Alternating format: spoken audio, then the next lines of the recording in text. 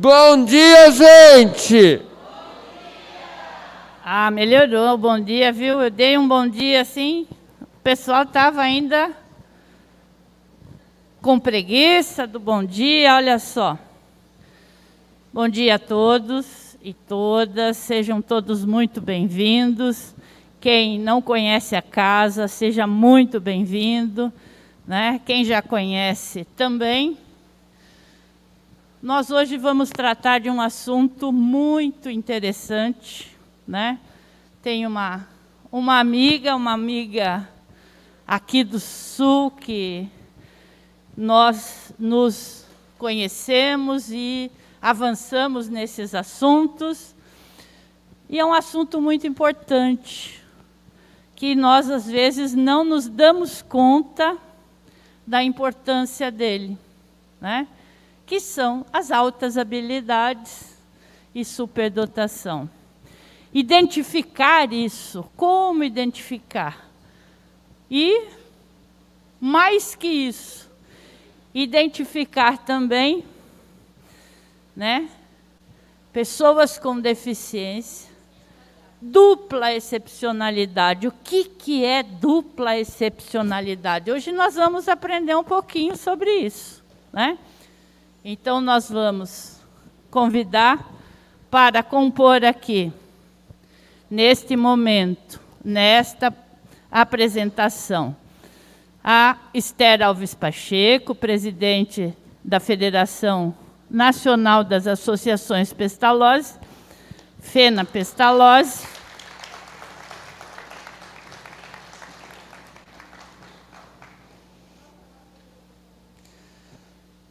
Nós vamos convidar também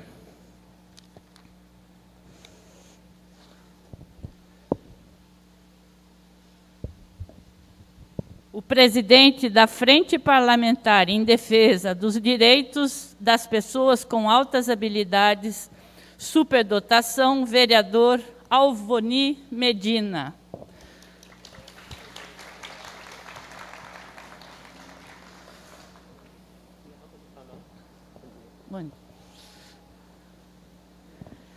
Quero convidar também a minha amiga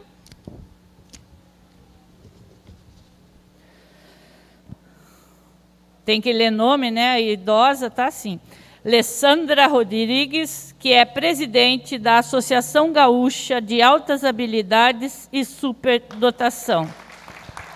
Muito obrigada. Vou de imediato, então, passar a palavra para a Esther. Vamos nos sentar.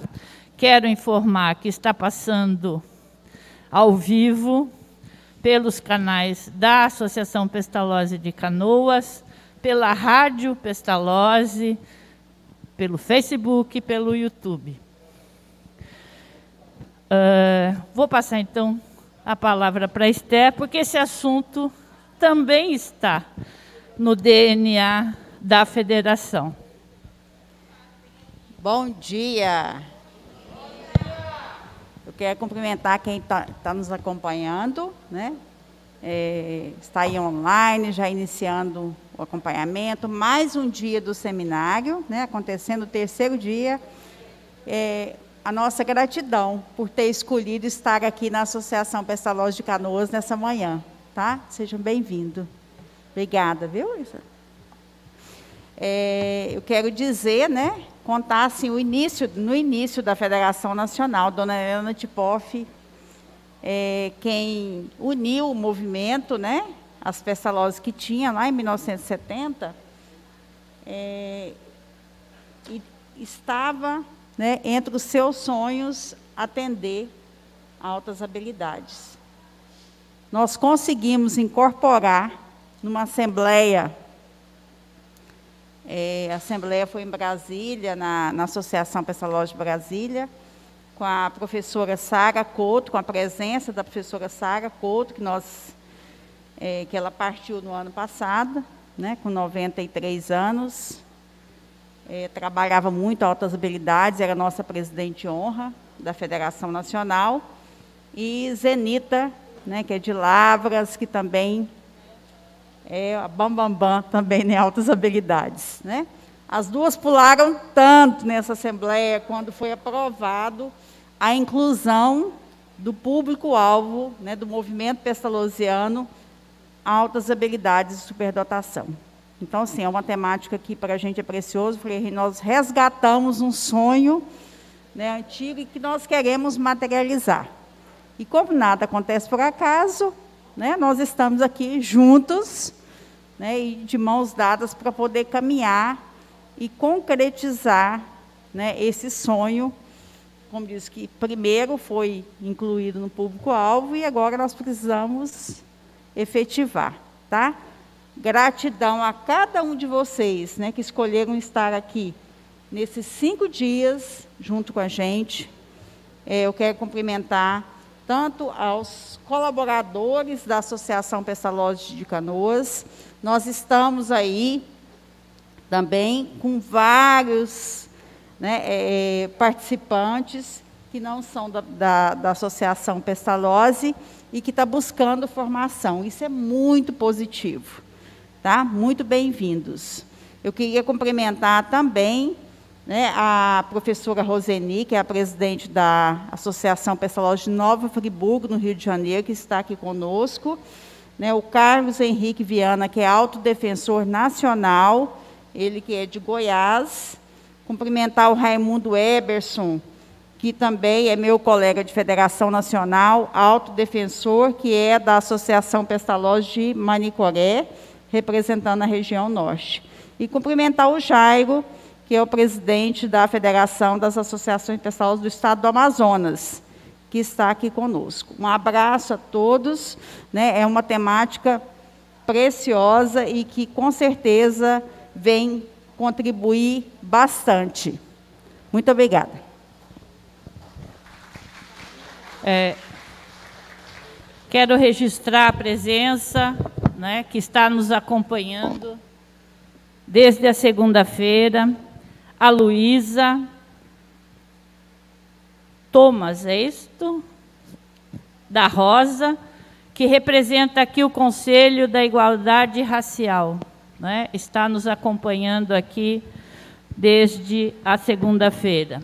Também quero é, citar o coordenador José Canabarro, que representa aqui a Secretaria de Inclusão desde segunda-feira conosco também, está nos acompanhando. Quero dizer a todos que estamos com mais de 190 inscritos para este seminário, muitos acompanhando presencialmente, muitos acompanhando online pelos canais da Associação Pestalozzi de Canoas. Então, gratidão a todos é, e entendemos, em alguns momentos, alguns não estarem em razão do seu trabalho. Né? Uma semana não é fácil. Então, muitos estão vindo, mas também, naquele momento que não pode, está acompanhando.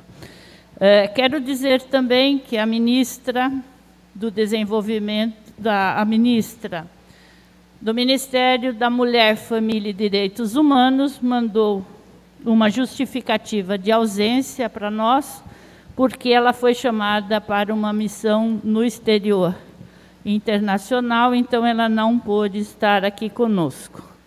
E depois menciono outras, outros convidados que também não puderam vir em razão de agendas. Gostaria agora, então, de passar a palavra ao vereador Alvoni Medina.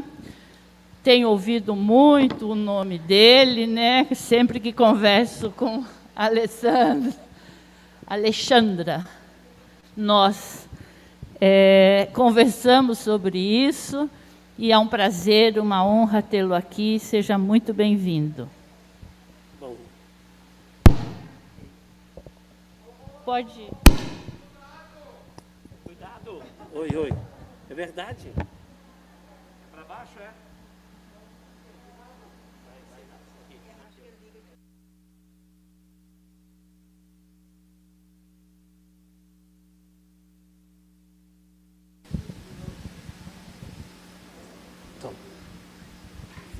Bom, bom dia a todos. É um prazer muito grande estar aqui com vocês. Bom dia, Alexandra. Bom dia também. E dizer que é uma honra poder fazer parte também deste momento tão especial aqui da Associação Pestalozzi de Canoas.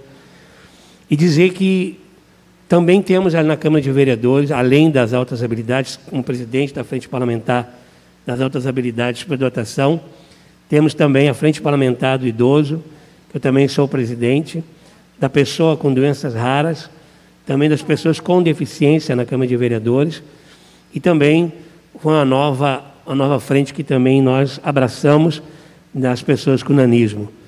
E nos colocamos à disposição, o nosso gabinete, a nossa assessoria, tudo aquilo que nós podemos fazer para ajudar, para apoiar.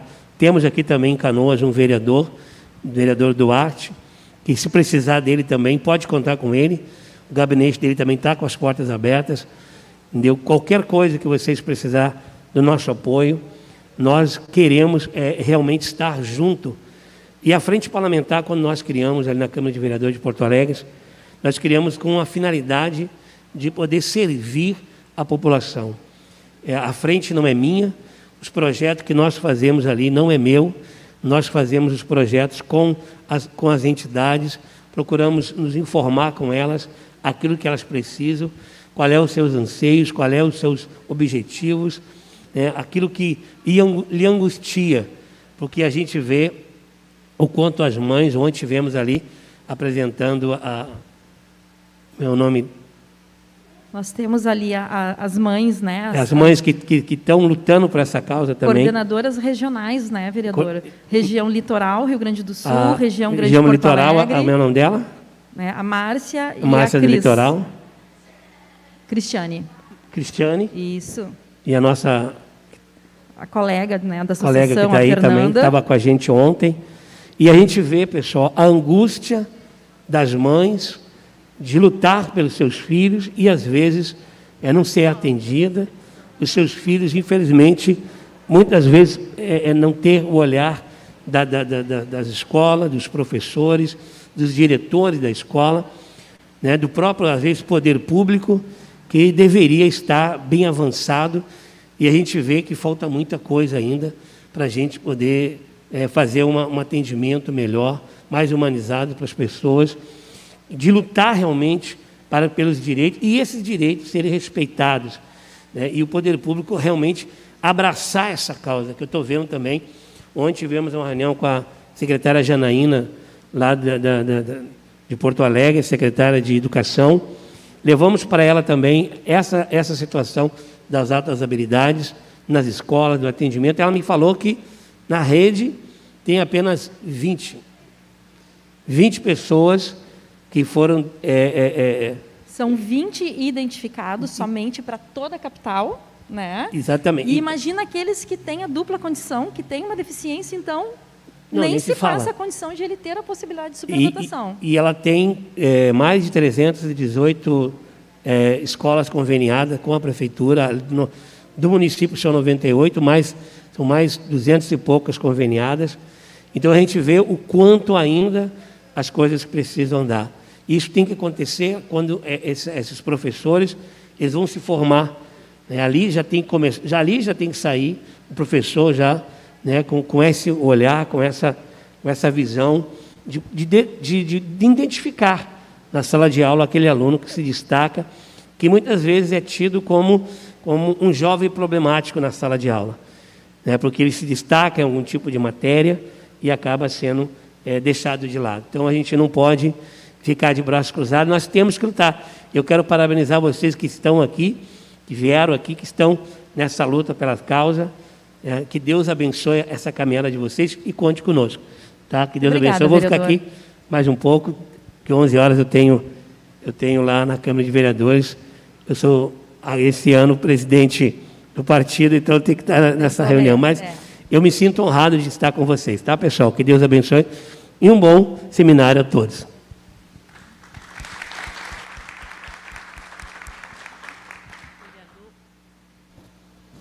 Vereador, se quiser continuar conosco aqui no palco, é, fique à vontade. Eu sei que a Esther tem outro compromisso urgente, então é, agradeço a presença. Ela estará conosco logo mais também.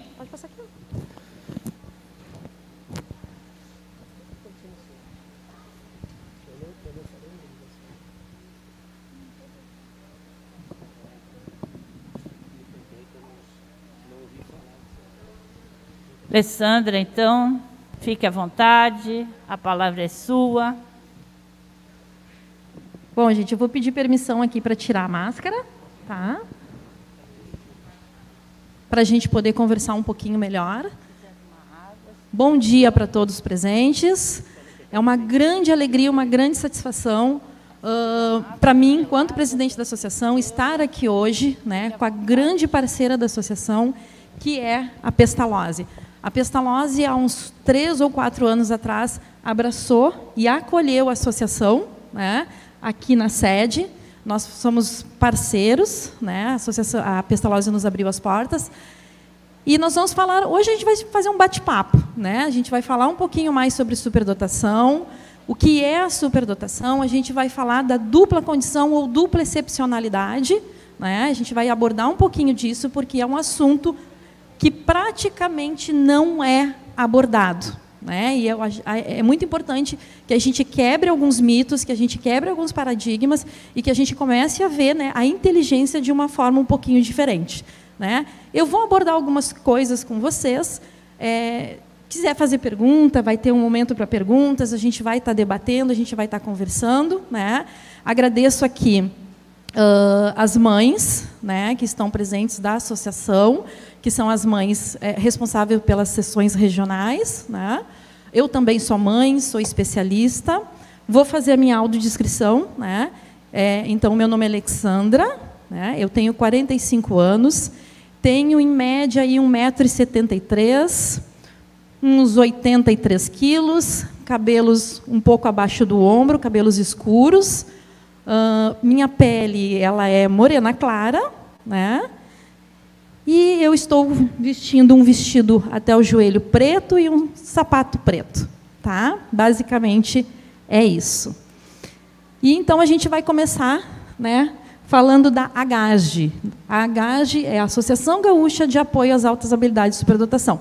Só para que vocês uh, mais ou menos entendam o processo histórico da superdotação, a gente vai falar de Helena Antipoff, né? Uma coisa que eu lembrei, que foi, né, uma precursora no Brasil né, uh, das questões das pessoas com deficiência.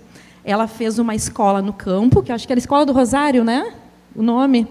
Escola Rosário, né? Em Minas. E quando ela começou a atender alunos, né, com necessidades especiais, como se falava na época, ela começou a perceber que alguns desses meninos e meninas tinham uma diferenciação, né? Como assim? Ele tem deficiência, mas ele também tem algo que não está batendo aí, né, com o que as pessoas falam.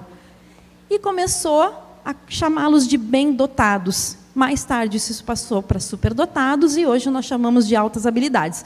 Então, quando nós falamos altas habilidades, nós seguimos o que o MEC preconiza, nós falamos altas habilidades barra superdotação. Significa a mesma coisa. Tá? Pode passar? Então, a AGAS de associação existe no Rio Grande do Sul há 40 anos. Então, há 40 anos nós, né, uh, é uma associação, né, uma organização não governamental, sem, sem fins lucrativos, e a gente luta pelos direitos das pessoas com alta habilidade de superdotação, sendo integrado por pais, profissionais, interessados no tema, uh, pesquisadores e o, o próprio público AHSD. Quando a gente fala AHSD, a gente está falando de altas habilidades de superdotação. Pode passar? E a nossa missão, né? Nós temos como prioridade a luta de, pelos direitos né, das altas habilidades de superdotação, buscando melhorias nas políticas públicas, procurando contribuir com as famílias, educadores, com a sociedade em geral, para que possam reconhecer, compreender e valorizar esse público. Por isso que a associação, nesse, nesse, nesse último mandato, vem trabalhando com as, né, uh, muito forte com as questões das políticas públicas. Foi aí que nós encontramos os nossos parceiros. Né? Uh, nós temos hoje a primeira lei, né, a primeira lei que defende e que trabalha os direitos das, né, dos alunos, das pessoas com altas habilidades de superdotação, a primeira frente parlamentar instituída. Né? Então, assim, nós temos no Brasil a primeira frente parlamentar que aborda o tema, o primeiro projeto de lei no Brasil né, aprovado que trabalha as questões de altas habilidades de superdotação, e, inclusive, essa lei está sendo também agora instituída em outros municípios no Rio Grande do Sul. E a nossa meta, né, vereador, é que ela vire, inclusive, lei estadual. Tá? Então, nós já temos um projeto de lei na capital, municípios reproduzindo, e também já, já efetivamos o Agosto Laranja, que é o nosso mês comemorativo das altas habilidades de superdotação. Pode passar? E aí a gente entra com o papel da sociedade civil. Né? Sociedade civil organizada é caracterizada como uma esfera de vida humana, marcada pela associação de pessoas em prol de um objetivo comum. Então, nós nos unimos né, uh, em prol de melhorias para o nosso objetivo. Tá? O nosso dever é defender as causas e interesse público, influenciar políticas públicas, atuar com grupos e comunidades e lutar por problemas sociais e direitos. Então, esse é o nosso dever quanto associação e essa é a nossa busca quanto pais e mães. Tá? Nós temos um grupo muito grande de pais, que, mães, que procuram auxílio para a identificação e atendimento das questões de altas habilidades de superdotação. Pode passar? E aí a gente entra, então, abordando o que é, o que são né, as altas habilidades. O que, que é isso, Alexandre? Então, assim, ó, o que, que a política né, de educação especial diz? Como é que a gente aborda o tema? Eu estou passando na frente de vocês, né? Estou na frente aqui, gente? Não? Não? Tá bom? Então tá. Política Nacional de Educação Especial define como auto-habilidosos superdotados os educandos que apresentam notável desempenho e elevada potencialidade em qualquer dos seguintes aspectos, isolados ou combinados. O que, que significa isso? Ele pode, esses aspectos, essas características, elas podem aparecer uma, duas ou todas. Tá? Depois a gente vai esmiuçar muito rapidamente o assunto. O assunto ele é muito vasto. O que eu vou fazer com vocês aqui é perpassar um pouco né, uh, para vocês, pelo menos, conseguirem entender o que, que a gente faz. Uh, e aí, quais são né, os aspectos? Ali, ó, capacidade intelectual geral, aptidão acadêmica específica, pensamento criativo ou produtivo, capacidade de liderança, talento especial para artes e capacidade psicomotora. Tá? Ah, Alexandra, mas meu filho precisa ter tudo isso? Não, ele não precisa ter tudo isso para ser considerado né, um superdotado. Pode passar? Então, só para mais ou menos a gente né, dar uma perpassada rápida. O que, que nós seguimos no Brasil? O que o MEC determina? Né? O MEC traz ah, como base, né, como pilar, o conceito né, baseado em dois teóricos tá, uh, muito famosos nos Estados Unidos, que hoje são os mais procurados para superdotação. Né? Então, assim, Renzulli é um psicólogo, um pesquisador americano, e ele desenvolveu a teoria dos três anéis. Nós conhecemos como anéis de Renzulli. O que, que quer dizer esses anéis de Renzulli? Tá? Uh, ele fala que a pessoa superdotada, esse ser, a superdotação, ela se dá da construção de três anéis, de três características que nós chamamos de anéis, que é habilidade acima da média, comprometimento com a tarefa e criatividade. Então, quando um aluno, uma criança, um adolescente, um jovem ou um idoso, ele é ali, habilidade acima da média, alguma área do conhecimento em relação aos pares da mesma idade e origem social cultural. É quando a gente vê aquele aluno, aquela criança, e ele é diferenciado. É quando você vê que ele pensa de forma diferente, que ele age de forma diferente, que ele inventa coisas diferentes. Né? É aquela criança que você diz assim: olha, ele está diferente para as crianças da mesma idade. Né? Ele está ali num, num tá, quando a gente olha, a gente sabe. Né? Então, a criança já apresenta esse primeiro anel. Tá? O segundo é comprometimento com a tarefa. É quando ele gosta demais de um determinado assunto, ou seja, uh, dinossauro, ou seja, animais, ou seja, biologia, o, o, que for, letras, números, ele tem uma fixação. Né? Mas aí a gente também tem que tomar muito cuidado para esse comprometimento com a tarefa não ser confundido, né? No caso do TEA, né? com uh, uh, aquele. Como é que eu vou dizer para vocês? Oi? O hiperfoco, isso, tinha me faltado a palavra. Aí as minhas mães estão bem afiadas com o hiperfoco, né? Então, assim, ele sabe muito. Você vai conversar com uma criança que tem um comprometimento com a tarefa e gosta de um determinado assunto, ele vai desmembrar todo o assunto, independente do que seja, ele vai conhecer muito sobre esse assunto. E criatividade, que é pensar em propostas diferentes, é aquela criança imaginativa, que pensa em tudo, que, que de, desenvolve coisas, mesmo que sejam ilógicas, essa cabeça está sempre maquinando algo. Então, a junção desses três anéis, né, e ali está ali, ó, né, os três anéis é de onde sai o comportamento superdotado. E essa malha por baixo que ele coloca significa o ambiente social cultural onde esse ser está inserido. Então, o que, que vai acontecer? A criança ela já nasce com né, superdotada. Só que o que vai fazer diferença é o estímulo que ela recebe. Essas habilidades elas podem ficar adormecidas e essa criança nunca desenvolveu todo o potencial que ela tem, ou ela pode ser estimulada devidamente e ter aí um, um, um desenvolvimento maravilhoso né, de suas habilidades. Pode passar? Então, apresentando esses três anéis, quando a gente verifica esses três anéis né, na criança, adulto, adolescente, jovem, que seja, a gente vem para um outro, né, um outro teórico que é Gardner. E Gardner traz para a gente as oito inteligências, teoria das inteligências múltiplas.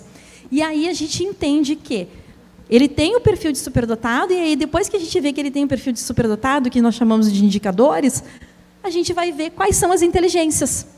Porque a inteligência ela não é única. A gente pode ter uma criança superdotada que vai muito mal, que não é acadêmica, mas que é sinestésico corporal. Ele pode ir muito mal na escola e muito bem nas atividades de futebol, natação, né? alto rendimento que a gente fala. A gente pode ter uma criança que vai abandonar a escola, né? que tem vários problemas na escola, mas que vai ser um excelente músico, que vai ser um excelente pintor. E aí a gente remete na história, no processo histórico, né? a gente vai pensar em Mozart, Einstein, a gente vai pensar em Darwin, todos aqueles gênios que contribuíram para a humanidade, se a gente fizer uma lista desses nomes, a grande maioria abandonou a escola. Então a gente tem que quebrar esse mito de que o ser superdotado ele é impecável, perfeito, né? E de que ele só é bom na escola, porque muitos dos nossos superdotados são péssimos na escola, tá? Pode passar? E aí a gente tem algumas curiosidades rápidas, tá? Superdotação não é um fenômeno raro. Nós temos 6 milhões, a última contagem foi feita em 2011, nós temos 6 milhões de superdotados. Tá? Uh, existem superdotados de ambos os sexos e todas as classes sociais. A gente tem aí um disparate né, uh, nas questões dos meninos, são muito mais identificados do que as meninas. É muito difícil a gente ver uma menina, mas a menina carrega um estigma de que ela já tem que ser boa estudiosa porque ela é menina. E quando você pergunta para uma menina adolescente com indicadores de superdotação, se ela é superdotada, ela vai dizer que não, que ela é esforçada e estudiosa. Né? Isso são questões culturais, na verdade, né? que, que o sexo feminino acaba carregando. Tá? Mas ele, é ambos os sexos e todas as classes sociais. Tá? A gente percebe um pouco mais uh, naquelas famílias que têm um pouco mais de condição financeira a, a descoberta da superdotação, porque essas famílias têm mais recurso. Aquela família que tem menos recurso, ela não consegue, porque ela não tem conhecimento, ela não tem informação, e essa criança dentro da escola, ela é invisível, né? Então essas habilidades, essa, essa inteligência, ela não é aproveitada, tá? Superdotar, olha, ó. Pessoas superdotadas nem sempre têm elevado QI, tá? Isso é verdade. Vamos é, temos sim superdotados com QI bem alto, que nós chamamos de acadêmicos, né? E eles são mais voltados para a área de estudo, lógico, matemática e linguística, tá? Mas nem todos passam em testes de QI, tá? Gente, então, assim, o teste de QI ele é uma ferramenta muito utilizada para o processo de identificação de superdotação, mas ele não é a única ferramenta, tá? Então, assim, nem sempre o superdotado vai ter um QI elevado, tá? Uh, superdotados e gênios são coisas diferentes, então não se chama né, gênio de superdotado de gênio. Aí a gente tem aqui a filha né, da, da Cris, que está indo. Que idade ela está, Cris? Está com 10 aninhos. Ela agora foi chamada para participar do programa do Luciano Huck. Ela está indo para pequenos, pequenos gênios, né? E a gente briga muito porque eles não são gênios. Isso é um estigma que eles carregam, né? E que isso acarreta, inclusive, muitos problemas psicológicos para a criança superdotada, porque quando tu fala gênio, tu acha que a criança tem que ser completa, boa em tudo, uh, psicologicamente madura, né, e que já, já nasce sabendo tudo. Isso não é correto, tá? A criança superdotada é uma criança normal, ela tem uh, grandes facilidades de aprendizagem e desenvolvimento de habilidades, mas ela precisa de ajuda e de auxílio. Deixa eu ver o que mais. Super, é, superdotação não é garantia de um futuro brilhante, porque se uma criança superdotada, né, de família muito pobre, não é vista, não é percebida na escola, não é auxiliada, o que, que acontece? Essa criança vai usar esse excesso de inteligência, muitas vezes, para lidar com o que não é legal. Essa, por que, que a gente tem tantos meninos, né? Uh, na, é, eu não sei se mais se fala fase, fase ainda, né? Passando ali é, é, presos, né, cumprindo é, medidas socioeducativas. Né? Se você for fazer um levantamento psicológico e, e de questões ali cognitivas, a maioria deles é muito inteligente. Inteligentíssimos. Mas o que, que aconteceu? Não tiveram oportunidades, não foram uh, uh, uh, estimulados devidamente, não participaram de projetos de desenvolvimento né, para trabalhar suas habilidades e usar a inteligência para aquilo que não era legal. Tá? Superdotados podem ser muito ruins em determinadas atividades intelectuais? Sim, eles não são bons em tudo, eles são, podem ser bons em determinadas disciplinas na escola, em outras elas podem ser péssimas. A gente tem o superdotado acadêmico, que é péssimo nas, que, nas questões de, de questões corporais, né? Eles são desengonçados, eles se batem, eles caem. E, ao contrário, o sinestésico corporal é péssimo na escola e é excelente em atividade física. Tá? Superdotados podem ser muito ruins. Tá. O cérebro deles não é maior nem diferente. Isso me perguntam frequentemente. Ai, é testudo. Ai, é careca. Ai, fulano nasceu com a cabeça né, maior. É inteligente. Não, gente. O cérebro é normal. Não existe nenhuma diferenciação o que a gente tem é uh, um cérebro que funciona, uh, tem uma velocidade de processamento muito maior né, e consome menos energia. Tá? Podemos identificar o superdotado antes da fase escolar? Sim, podemos. Tá? Uh, essa criança ela vai ser percebida já né, dentro com manifestos já bem uh, precoces, né? ela vai trazer uma precocidade.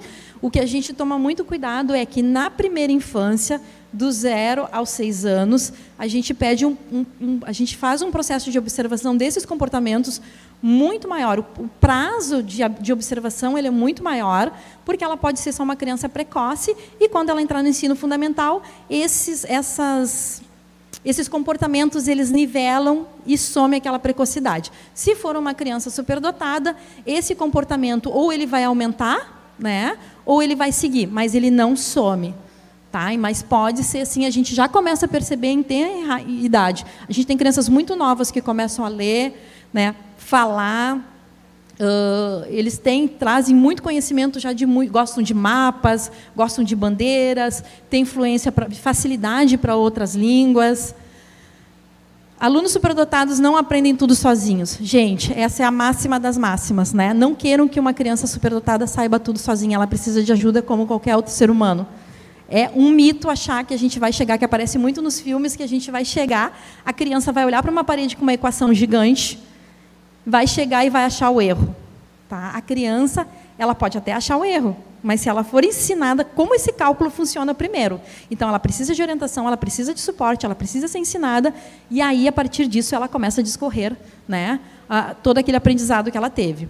E superdotados não são estranhos e nem antissocial, gente. É muito triste. A gente recebe muito na associação né, a reclamação de eu sou estranho, eu sou retardado, eu sou antissocial. O meu filho, ele era chamado de retardado porque ele lia livros sem figura, tá? Então, isso são palavras, eu sei que são palavras muito cruéis, mas é o que chega para gente. Né? Estranho, esquisito, nerd, antissocial. E é muito, muito cruel. São adolescentes, são jovens, são crianças que passam por muitos problemas dentro da escola, eles não são percebidos, eles não são valorizados, e a grande maioria, quando entra lá na adolescência, acaba por abandonar a escola. Eles não se sentem fazendo parte de um todo, eles não se sentem incluídos, eles não se sentem fazendo parte de um grupo. Pode passar? E aí a gente entra naquilo que eu vim falar hoje com vocês. O que é dupla excepcionalidade? Né? O que será dupla excepcionalidade, Alexandra? A gente falou de superdotação. Né? A gente falou de um ser ali completo, inteligente, com questões cognitivas aceleradas, que aprende tudo com facilidade. E o que é a dupla excepcionalidade? Que é algo que se tem falado muito na atualidade, é algo que a gente vem é, tirando debaixo do tapete. Tá? Algo que ficou escondido e que se não, não se abordou por muito tempo. Então, dupla excepcionalidade pode ser definida como a presença de capacidades superiores em uma ou mais áreas, que ocorre conjuntamente a deficiências ou condições tidas como incompatíveis a essas capacidades. Pode passar que a gente vai tentar explicar de uma forma mais simples. Dupla excepcionalidade refere-se quando uma pessoa apresenta dois funcionamentos concomitantes. Pode ser de alguma forma de deficiência alterações comportamentais ou dificuldades de aprendizagem na escola. Alexandra, é possível eu ter transtorno de aprendizagem e mesmo assim eu ser superdotado? Sim. É possível ter uma deficiência e eu ser superdotado? Sim. É possível eu ter TEA e eu ser superdotado? Sim. Tá? Então, a resposta é Sim, gente, sim. Tá? Superdotação não é doença, superdotação não é patologia, não existe CID para superdotação. Tá? E sim, a pessoa com deficiência, transtorno de aprendizagem, pode apresentar indicadores de superdotação em áreas muitas vezes não acadêmicas ou em áreas acadêmicas. Não é uma situação incomum, para quem acha, ah, Alexandra, mas assim, no Pestalozzi eu vou ter um para todos os alunos. Olha lá. A estimativa é que um para cada dez crianças com altas habilidades pode ter algum tipo de deficiência. Então, não é pouco, Edna. Né? O que está acontecendo? Somos nós que não estamos enxergando. Né? Então, alguma coisa está errada. Exatamente. Por isso que nós, né, né, vereador, nós os chamamos de invisíveis. Porque eles não são considerados, eles não são vistos. É mais fácil a gente ver um indivíduo dentro das suas necessidades. Né? Vamos colocar um exemplo aí, o TEA. Só se enxerga aquela caixa do TEA. A gente não enxerga a superdotação, muitas vezes, que esse TEA pode apresentar. Oi? TEA, autismo, tá, gente? Tá? Transtorno do espectro autista, tá? Às vezes eu esqueço. Então, assim, ó, muitas vezes a gente encaminha um aluno que tem ali indicadores de dupla excepcionalidade, que seria autismo e superdotação, e ele é só visto dentro do autismo. Ele não é considerado.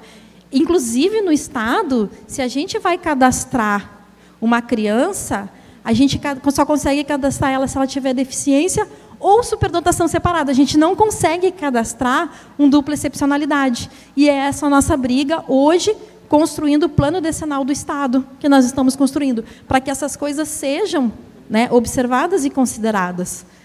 Pode trocar? Exemplos mais comuns que a gente acha hoje de dupla excepcionalidade. O que é mais visto dentro da dupla excepcionalidade? O TEA, transtorno do espectro autista, que eu falei, né, que a gente encontra hoje, aparecem muitos meninos e meninas com indicadores de superdotação dentro do autismo e dificuldades de aprendizado, transtorno de déficit de atenção, TDAH, e hiperatividade, dislexia e descalculia. Tá? Então, eles podem apresentar superdotação e são os mais comuns que aparecem, né? que, que são mais latentes para a gente. Algumas crianças, olha a observação, algumas crianças com dislexia e TDAH podem frequentemente ter capacidade intelectual, inclusive, acima da média. Então, a gente está muito acostumado a ver aquele aluno que não consegue, muitas vezes, escrever ou ler e não sabe da capacidade intelectual que esse aluno tem. Muitas vezes, inclusive, muito acima da média. Né? E o que, que a gente tem que achar? Uma alternativa para que ele consiga desenvolver suas habilidades. Às vezes não consegue escrever. O professor quer que ele escreva.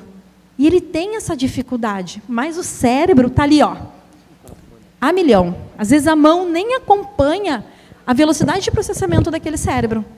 Tá? Então a gente tem que começar a mudar né, a nossa visão sobre essas coisas. E aí tem ali um, um adendo, né? embora as deficiências físicas ou sensoriais, como paralisia cerebral ou cegueira, sejam aparentes, outras, como deficiências sutis de audição ou visão, ou dificuldades específicas de aprendizado, ou processamento auditivo, são mais visíveis de, de detectar, e particularmente em uma criança superdotada. Né? Então, a gente acaba, muitas vezes, também vendo a superdotação e não considerando essa deficiência que a criança tem. Que assim, isso precisa ser considerado também. Muitas vezes, a gente vê a criança com superdotação e, e só foca na superdotação e não trabalha aquela deficiência. Isso precisa ser visto também. Tá? Assim como não só a deficiência e também a superdotação. A gente tem que saber equilibrar, equalizar e trabalhar as duas áreas. Pode passar? E aí, eu apresento para vocês o meu amigo Herman. Então, o Herman, ele é filho de uma amiga minha, que eu tive o prazer de conhecer há uns 4, 5 anos atrás. Né? E, na época, o, ex-presidente da FADERS, o é, Dr. Roque Bakoff, chegou para mim e disse assim, você precisa conhecer o Herman de Bagé. Ele é muito diferente do que a gente consegue uh, imaginar. Alexandra, eu acho que tem alguma coisa aí de diferente no Herman. E eu fui conhecendo o Herman e hoje eu estou muito, muito focada nas questões do Herman, né? Porque a gente vai ler e dizer, ah, Alexandra, mas isso aqui está tranquilo. Daqui a pouco a gente vai ver qual é a vida do Herman, tá? Nasceu em Aceguá, em 2004 mudou para Bagé, passou a frequentar a escola de educação infantil. 2006 iniciou na primeira série do ensino fundamental, 2014 concluiu o ensino fundamental. Então, de 2006 a 2014, vocês vão ver que ele concluiu o ensino fundamental sem reprovar e sem repetir nenhum ano. Tá? Uh, em 2016, após ser aprovado no vestibular, ingressou no ensino médio técnico em informática, formou-se em 2021 técnico em informática. É um rapaz alegre, espiritualizado. Ele é fantástico. Vocês procurem esse nome na internet, vai ter uh, matéria dele no Jornal do Almoço, vai ter muita live dele, vai ter muita coisa sobre ele nas mídias, tá? Ama música, gosta de viajar, de estar com colegas e amigos. A gente entra no Facebook dele, a gente vê foto do Herman com os amigos, com os colegas, né, do curso, fazendo trabalho, sorridente. A presença, inteligência emocional muito acentuada. Tá? Então, quem conversa com o Herman vai se surpreender uh, da capacidade emocional que o Herman tem, inclusive de amparar e muitas vezes trazer força para a própria mãe. Tá? Pode passar? Agora vocês vão conhecer o Herman. O Herman teve diagnóstico de paralisia cerebral aos oito meses de vida. O Herman ele não fala. Tá? O Herman fala com os olhos, através de um computador. Ele é excepcionalmente inteligente. O Herman, ele é fantástico. Eu me arrepio de falar dele, porque ele é um símbolo, hoje para mim, no Brasil, de dupla excepcionalidade. Né? Outra pessoa, talvez no lugar dele, estaria chorando as mágoas, estaria esperando as pessoas fazer algo por ele, né? E ele não precisa disso. A inteligência dele e as condições emocionais dele são tão maiores que ele está muito acima disso. Pode passar? O Herman é o primeiro usuário de computador adaptado com acesso ocular de comunicação, é, comunicação alternativa. Ele se comunica, o computador fala quando ele aciona com os olhos. Tá? O primeiro computador a chegar no Brasil com intermédio da Defensoria Pública é dele. Primeiro aluno a ingressar no Instituto Federal com uso da tecnologia assistiva e comunicação alternativa. Primeiro instituto a oferecer cotas para pessoas com deficiência, porque ele correu atrás desse direito. Tá? Primeiro município a normalizar, normatizar o outubro como mês alusivo da comunicação alternativa, que é a luta do Herman. Né? Além da lei Herman, também tem um software que foi criado com o nome dele no IFSU hoje. Né? A lei Herman hoje está normatizada no estado do Rio Grande do Sul e foi nacionalizada. Também foi criado em dois municípios de São Paulo, atualmente aguardando a criação do Centro Estadual de Tecnologia Assistiva. Gente, esse menino, aí vocês vão dizer, Alexandra, mas como é que ele conseguiu tudo isso? Ele tem apoio da família? Tem. Ele tem apoio da mãe, que é uma pessoa fantástica? Tem. Mas ele é um menino que não espera ninguém fazer por ele. Ele dá palestra, ele fala em seminário, ele vai com a cadeirinha dele de roda e com o computadorzinho dele, e ele faz apresentações, ele faz live, gente. Ele corre atrás, ele prestou vestibular, ele estudou, ele não esperou nada, nada para ele veio fácil. E o que, que é isso se não uma grande capacidade né, de querer as coisas diferentes? Isso a gente chama de comprometimento com a tarefa. A, a, né, a deficiência dele não, não deixou com que ele ficasse prostrado. Então, o que, que aconteceu? A vontade e as questões cognitivas ele estão muito acima disso e ele é extremamente persistente.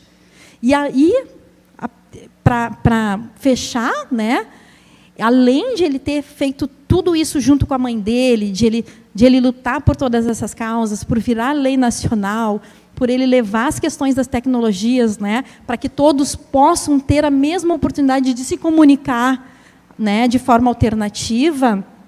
Ele é um garoto extremamente espiritualizado. Você conversa com ele e ele te dá uma lição de vida, né? Então, esse é o Herman, tá?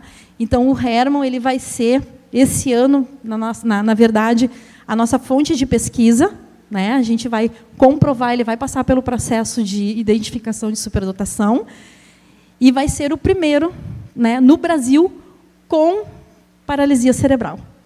Tá? A gente vai comprovar é, a questão da superdotação do, do Herman. Pode passar? Ambos os casos, e aí a gente fala tanto de, do ser somente superdotado ou do, da dupla condição, né? A identificação correta é essencial para que os pais busquem melhores oportunidades e a criança possa ser atendida dentro das suas reais necessidades. É muito importante que profissionais capacitados realizem avaliações sérias e consistentes, visando diferenciar corretamente esses grupos, né? para que os encaminhamentos pedagógicos sejam adequados conforme cada caso requer. Então, isso é um primordial. Tá?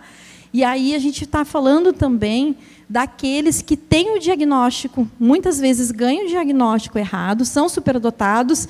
Né? A gente tem crianças com inteligência sinestésico corporal, né? com diagnóstico de hiperatividade, e na verdade ela não é hiperativa. Né?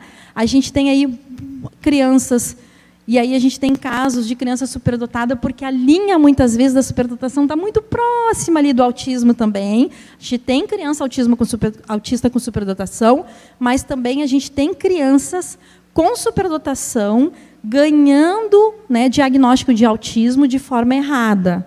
Tá? Muitas vezes não é autismo. Então, tudo isso precisa né, de uma equipe multidisciplinar, essa criança precisa ser observada, essa criança precisa ser trabalhada, essa criança precisa ser considerada, os indicadores dela precisam ser observados, todos eles, que são as características que eu não trouxe aqui para vocês porque é muita coisa, né? mas é como se fosse um quebra-cabeça. Tá? Pode passar? E, para a gente finalizar, sem ajuda, essas crianças são geralmente mal interpretadas, e isoladas. Os adultos que auxiliam de, devem poder traduzir o mundo para elas e elas para o mundo. Né? Então, é nosso dever, quanto cidadão, quanto ser humano, mostrar o mundo para essas crianças, mas também ensinar ao mundo quem são essas crianças. E a gente, nos, né, a gente se pergunta: o que nós estamos fazendo com o nosso potencial? O que nós estamos fazendo com os nossos meninos e meninas no Brasil. Né? Será que a gente ainda vai ter que esconder isso debaixo do tapete? Será que esse público ainda vai ficar invisível? A gente trabalha para que não. Tá? Elas têm talentos especiais e necessidades especiais. Com apoio cuidadoso, elas podem aprender as estratégias necessárias para se conectarem às outras pessoas e, e se tornarem membros que ofereçam sua contribuição à sociedade. E o mais importante, elas podem ser felizes sendo quem são. Tá? Pode passar? E aí a gente faz um adendo que a família também precisa ser acolhida, a família também precisa re receber a informação. Esse é o nosso papel quanto associação, além do trabalho com as políticas públicas, com seminários, com as parcerias, é o acolhimento familiar. Procurem a associação, procurem o grupo de pais. A gente tem pais regionais, grupos regionais, esse acolhimento, troca de informação, encontros mensais, é tudo gratuito para que vocês se munam de informação, para que vocês se tornem mais fortes e possam cobrar os direitos dos filhos de vocês. Então é isso, gente. Pode passar? E aí, né? A gente tem, como eu falei ali no comecinho, a gente tem ali, ó, no dia 22 de novembro de 2009, nós tivemos a primeira frente parlamentar, e vocês são muito bem-vindos a agregar o nosso trabalho, todos são muito bem-vindos. Quem quiser fazer parte da frente, quem quiser vir conversar com a gente, a gente vai estar sempre abertos né, para recebê-los. E o Agosto Laranja, que a gente já convida, né, Edna, para trabalhar, né, fazer um evento bonito. O agosto ele é um mês inteiro de festividade, é um mês inteiro que a gente vai trabalhar com palestras, com live, com, né, com tudo que a gente puder fazer para quebrar, né, levar ah, informação, quebrar preconceitos, trabalhar, inclusive, com a Pestalozzi, eu quero fazer um evento sobre a dupla condição. E é isso. Fica aqui o meu muito obrigado. Pode passar. E os nossos contatos. Tá? Depois eu vou deixar com a Edna os slides, quem quiser pode ter acesso. E vai lá, dá um oi para a gente no Facebook da associação. A associação está à disposição de todos. Tá? Fica o meu beijo meu muito obrigado para vocês.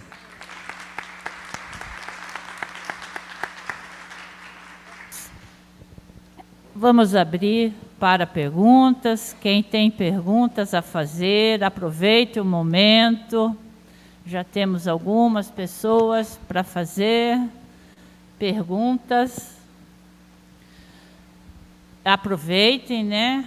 Alessandra Alex, Lex, Lexandra. Lexandra, vamos aprender. Lexandra. A gente chama Bom de dia. Lê que fica mais Meu nome é Daniele. Uh, tu falaste ali em questão né, que não precisa ser só que, uh, ter um diagnóstico do QI. Né? Como eu poderia identificar né, que a minha filha tem essas habilidades mesmo? Porque, assim, uh, ela sempre me chamou a atenção nossa desde pequena. Uhum. Tá? E quando ela começou a ir para a primeira série, ela sofreu muito preconceito dentro da sala de aula. Por ela já ser alfabetizada, por ela ter interesses em assuntos em comum, e aonde ela levava esses conhecimentos para a sala de aula. O professor falava que não era momento dela compartilhar essas coisas. Uh, os alunos chamavam ela de metida porque ela queria se aparecer e ela sofreu muito bullying por causa disso. E aí ela começou a se retrair. Aonde ela fazia as atividades, ela não queria fazer porque a professora, ela sempre terminava as coisas primeiro que os outros. Ela começou depois a perder interesse, a gente trocou ela de escola. E na escola nova também foi essas situações. Ela sempre é, quer participar na sala de aula, interagir, levar as informações dela. E ela é, acaba sendo. Como é que eu posso dizer? Ela acaba chamando atenção nas coisas que ela fala e compartilha. E isso, socialmente, para ela, prejudica, porque ela é excluída. Né? E a gente, ela acaba, às vezes, quando a professora pede para fazer algum trabalho, ou elogia, e ela não quer que a professora se manifeste. Ela, eu não sou melhor do que ninguém. Uh, quando falam para ela, ai, Pia, não ia falar o nome dela. quando falam para ela assim, ai, que bacana, tu fez uh, melhor trabalho, ou tu traz as informações, que tem alguns professores que incentivam, outros não. Né? E aí, quando incentivam, ela não cala a boca, porque se tu dá corda, ela vai falando principalmente o assunto sobre animais. Ela traz a biologia, ela traz a ciência, ela traz uh, sobre os dinossauros ali quando tu falou. Desde pequena ela sempre assistiu documentários. Ela sempre busca informações em relação a isso. E isso exclui ela em relação aos outros colegas. Por isso que eu te pergunto, porque sempre me chamou a atenção, mas eu nunca fui atrás disso. Como ela sofreu em questão de discriminação, bullying, eu fui atrás para resolver outros problemas que eu tive em relação a isso. Né? E eu gostaria de mais informações assim, para poder compreender e poder ajudar ela também. Desculpa, como é teu nome? Daniele. Daniele, você resumiu no teu histórico de vida com a tua filha tudo que nós falamos aqui. Né? Então, muito provavelmente, nesse processo aqui, você se identificou. Você identificou a situação que você vem vivendo com a tua filha. Tá?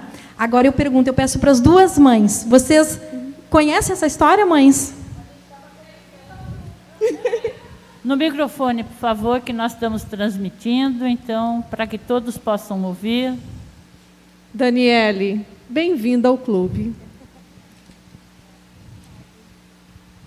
Eu comentei com a Márcia que é exatamente a mesma história que a gente viveu também há um tempo atrás. Igualzinha. É, então, assim, ó, Daniele, o que, que precisa? Primeira coisa, você precisa estar fortalecida. Tá? Uh, procura as meninas, pega o telefone, a gente te coloca no grupo de pais. Primeira coisa, você tem que ter informação. O que é a superdotação, a superdotação quais são as características, né? como ela se apresenta. Por quê? Porque esse sentimento que ela já está transbordando em relação à escola, em relação a como ela está participando de tudo, isso vai ser acumulativo, tá? Lá na frente ela não vai querer tocar no assunto, ela vai se boicotar, tá? E ela não vai render muito na escola. Ela vai equilibrar, ela vai baixar o rendimento dela, né, para poder se sentir aceita. E ela deixa de ser quem ela é para poder fazer parte de um grupo e ser aceita e não sofrer tanto na escola. E é isso que a gente não quer para tua filha. Então, nos procura, Vem conversar com a gente. A gente vai te trazer informação. A Fernanda já está aí do teu lado, né? Uh, isso não existe custo. Nós somos famílias, né? A gente só quer mudar as coisas, tá? E aí, a partir do momento em que tu tiver as informações, tu começa a dar suporte para tua filha e, inclusive, dentro da escola, tu levar informação, que é uma, o primordial, porque ela está na base agora, né? Se ela não tiver suporte, a tendência de ela levar esse sentimento ruim vai ser porque ela vai começar a não querer levantar mais a mão, ela vai começar a ficar tímida, ela vai começar a se bloquear. E a gente não quer isso para ela. O processo de identificação, ele não é somente através do teste de QI, tá? É um processo de, de um processo de observação. Existem outros, outras ferramentas de pesquisa que a gente usa, inclusive com a escola, né? Um especialista, a escola, mas a gente vai te explicar tudo direitinho, te dar um suporte, tá? Mas seja bem-vinda. Eu entendi que você se entendeu o que eu expliquei aqui, você se identificou. Eu, eu só queria fazer uma observação, né, quando ela falando das dificuldades da filha e da exclusão, qualquer mãe, pai de pessoa com deficiência vai falar a mesma coisa. A mesma coisa. A, a, a exclusão é muito grande ainda, né? E essa é a nossa luta. As pessoas falam, ah, já está tudo incluído. Não, a gente luta por inclusão. A verdadeira inclusão, a forma real de inclusão, né? Exatamente. que é não discriminar ninguém. Então, isso é muito importante.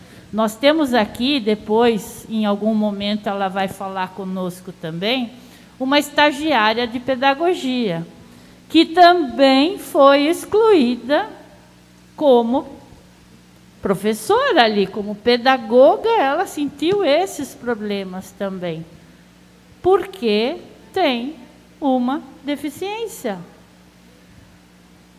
Tá? Então, é, estamos todas, todos numa grande família, com Exatamente. certeza. Mais Nada é por pergunta? acaso. Tem, tem lá a Rosângela. Depois tem, acho que aqui na frente, lá no fundo. Bom dia. Bom dia. Meu nome é Lilian, eu sou formanda em psicologia e me interesso muito, muito mesmo por esse assunto. Gostaria de saber de ti, assim, quais são as nossas oportunidades de especializações, cursos na área, pois, assim, né, procurando agora pós-graduação, uh, não encontro muito sobre esse assunto. Então, gostaria de saber como que a gente se insere neste, neste tema. Tá. Obrigada. Eu sou pedagoga, neuropsicopedagoga, e a minha especialização é específica em altas habilidades de superdotação. Existem pós-graduações específicas, pós-graduada em altas habilidades de superdotação. Nós temos um instituto no Paraná, né, que é um instituto, acho que é, ai, agora eu não lembro o nome, mas eu te passo depois. Tá bom. Tá? E está para sair esse ano no Rio Grande do Sul, inclusive, um curso de pós-graduação, tá? Uh, e depois eu te passo também, específico na área, com aulas com os maiores especialistas do Brasil. Tá? E ele vai ser específico em superdotação, vão abordar todo, desde a psicologia até questões neurais, tudo que vocês possam imaginar. Né? Então, existe formação tá? Uh, específica e existe os seminários, os cursos de formação, né, ali de, de para adquirir conhecimento, mas formação específica tem também, tá? Tá bem, obrigada. Eu só queria aproveitar essa pausa da Alexandra, Alexandra, para me despedir, pessoal. Que Deus abençoe. Eu tenho uma reunião às 11 horas lá na Câmara de Vereadores. Então, mais uma vez, conta comigo. E aí, tudo que vocês precisarem de Porto Alegre e no estado do Rio Grande do Sul, pode contar com a gente também aqui em Canoas Conte conosco, tá, pessoal? Que Deus abençoe cada dia mais a vida de cada um de vocês. Um abraço, dona Edna, que Deus lhe abençoe. Que Ele abençoe a todos nós. Quem? Eu acho que aquele rapaz lá, com a camiseta de manga verde, ele tinha pedido para falar. Tá.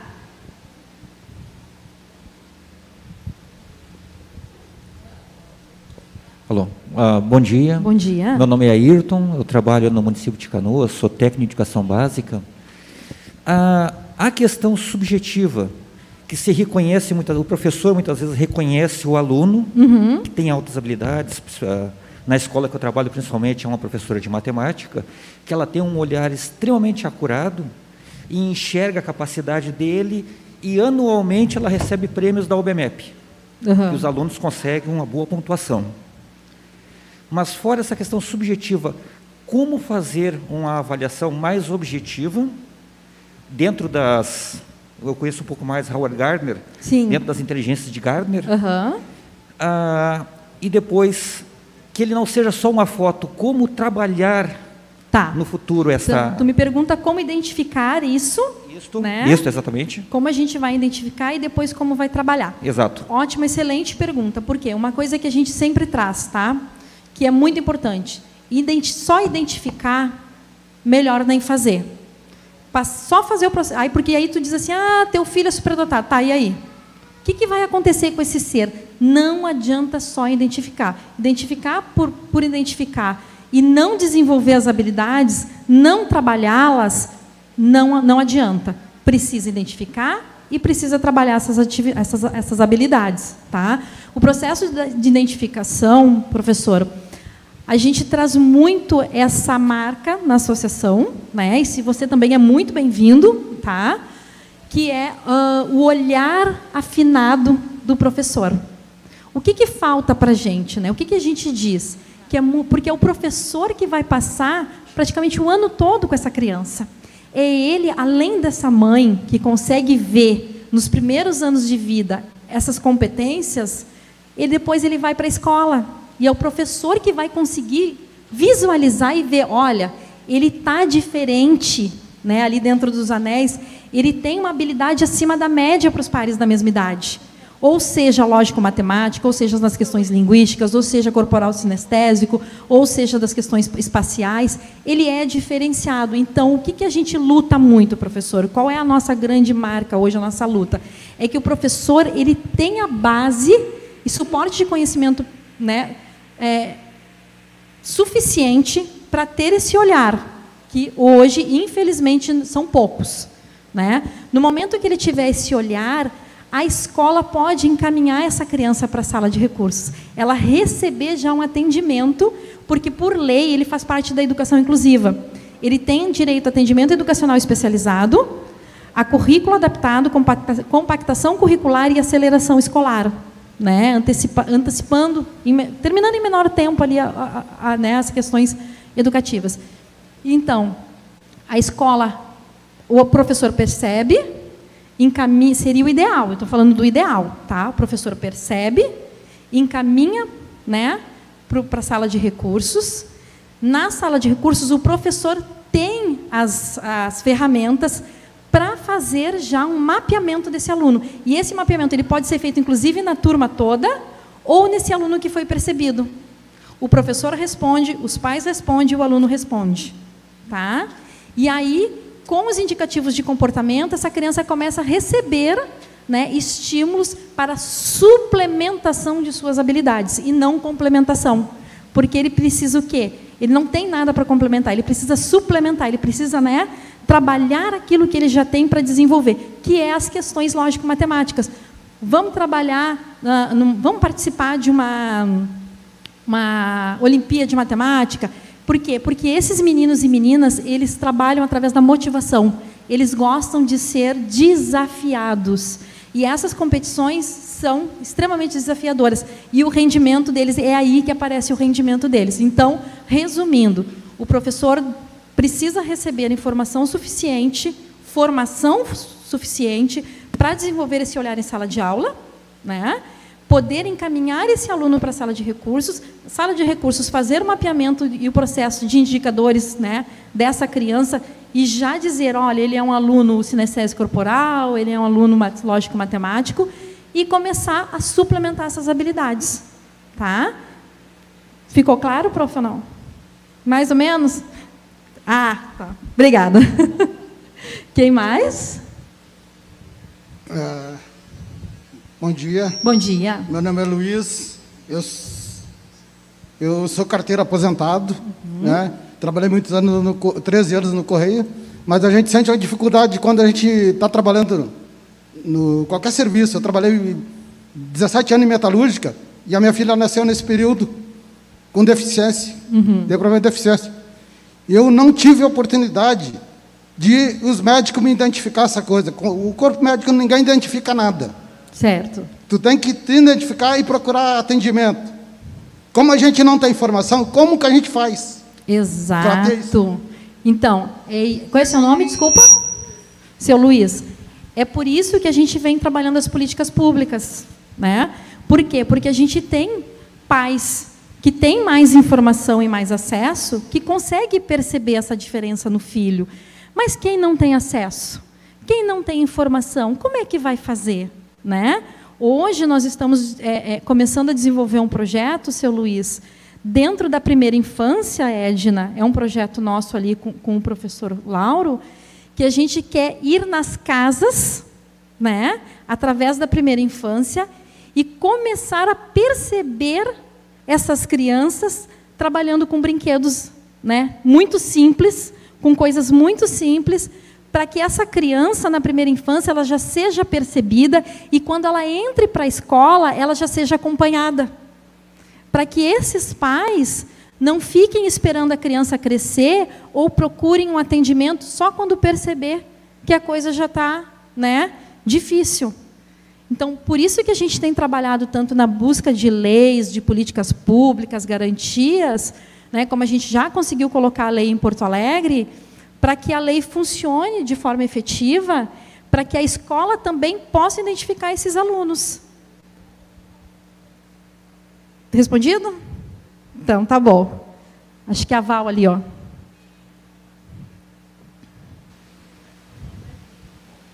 Tá. Eu amei essa palestra, com certeza. Uh, é muito importante também a, quais são a minha dúvida né, uhum. uh, dentro desse contexto. Uh, quais são os níveis dentro uh, das habilidades dentro da, das escolas? porque tem várias escolas que têm grande dificuldade como cuidar dentro desses contextos de como ensinar a criança uhum. de brincar, achar um brinquedo para ela tentar entrar nessa mundo dela também, né, de uhum. conhecer. Mas quais são os níveis de habilidades? É, níveis, na verdade, ele, ela não existe, tá? A criança já lá na educação infantil, ela já vai mostrar que ela tem habilidades específicas, tá? Então, ela vai brincar de forma lúdica por isso que a gente quer trabalhar com os brinquedos, porque ela, tu já vai ver ela brincando com os brinquedos, ela vai pegar bloquinhos, ela vai começar a montar, vai começar a criar bloquinhos, vai começar. Então, assim, a criança, mesmo se tu colocar oito brinquedos diferentes, de, de oito inteligências diferentes, ela vai direto naquilo que ela tem interesse. Né? Se há uma criança lógico-matemática, ela vai brincar com números. Se há uma criança espacial, ela vai trabalhar com construção de, de pecinhas de montar, e, e, mesmo que aquilo não esteja caracterizado, ela vai construir uma casinha com, com um pedacinho de caixinha. Tá? Então, assim, não existem níveis. A criança ela já nasce assim, né? ela só vai desenvolver se ela for estimulada cada vez mais. E aí, cada vez mais, ela vai produzindo, produzindo, produzindo, produzindo. Mas dentro da oito inteligência, se você apresentar oito brinquedos, ela vai se interessar por aquelas que são das suas habilidades específicas.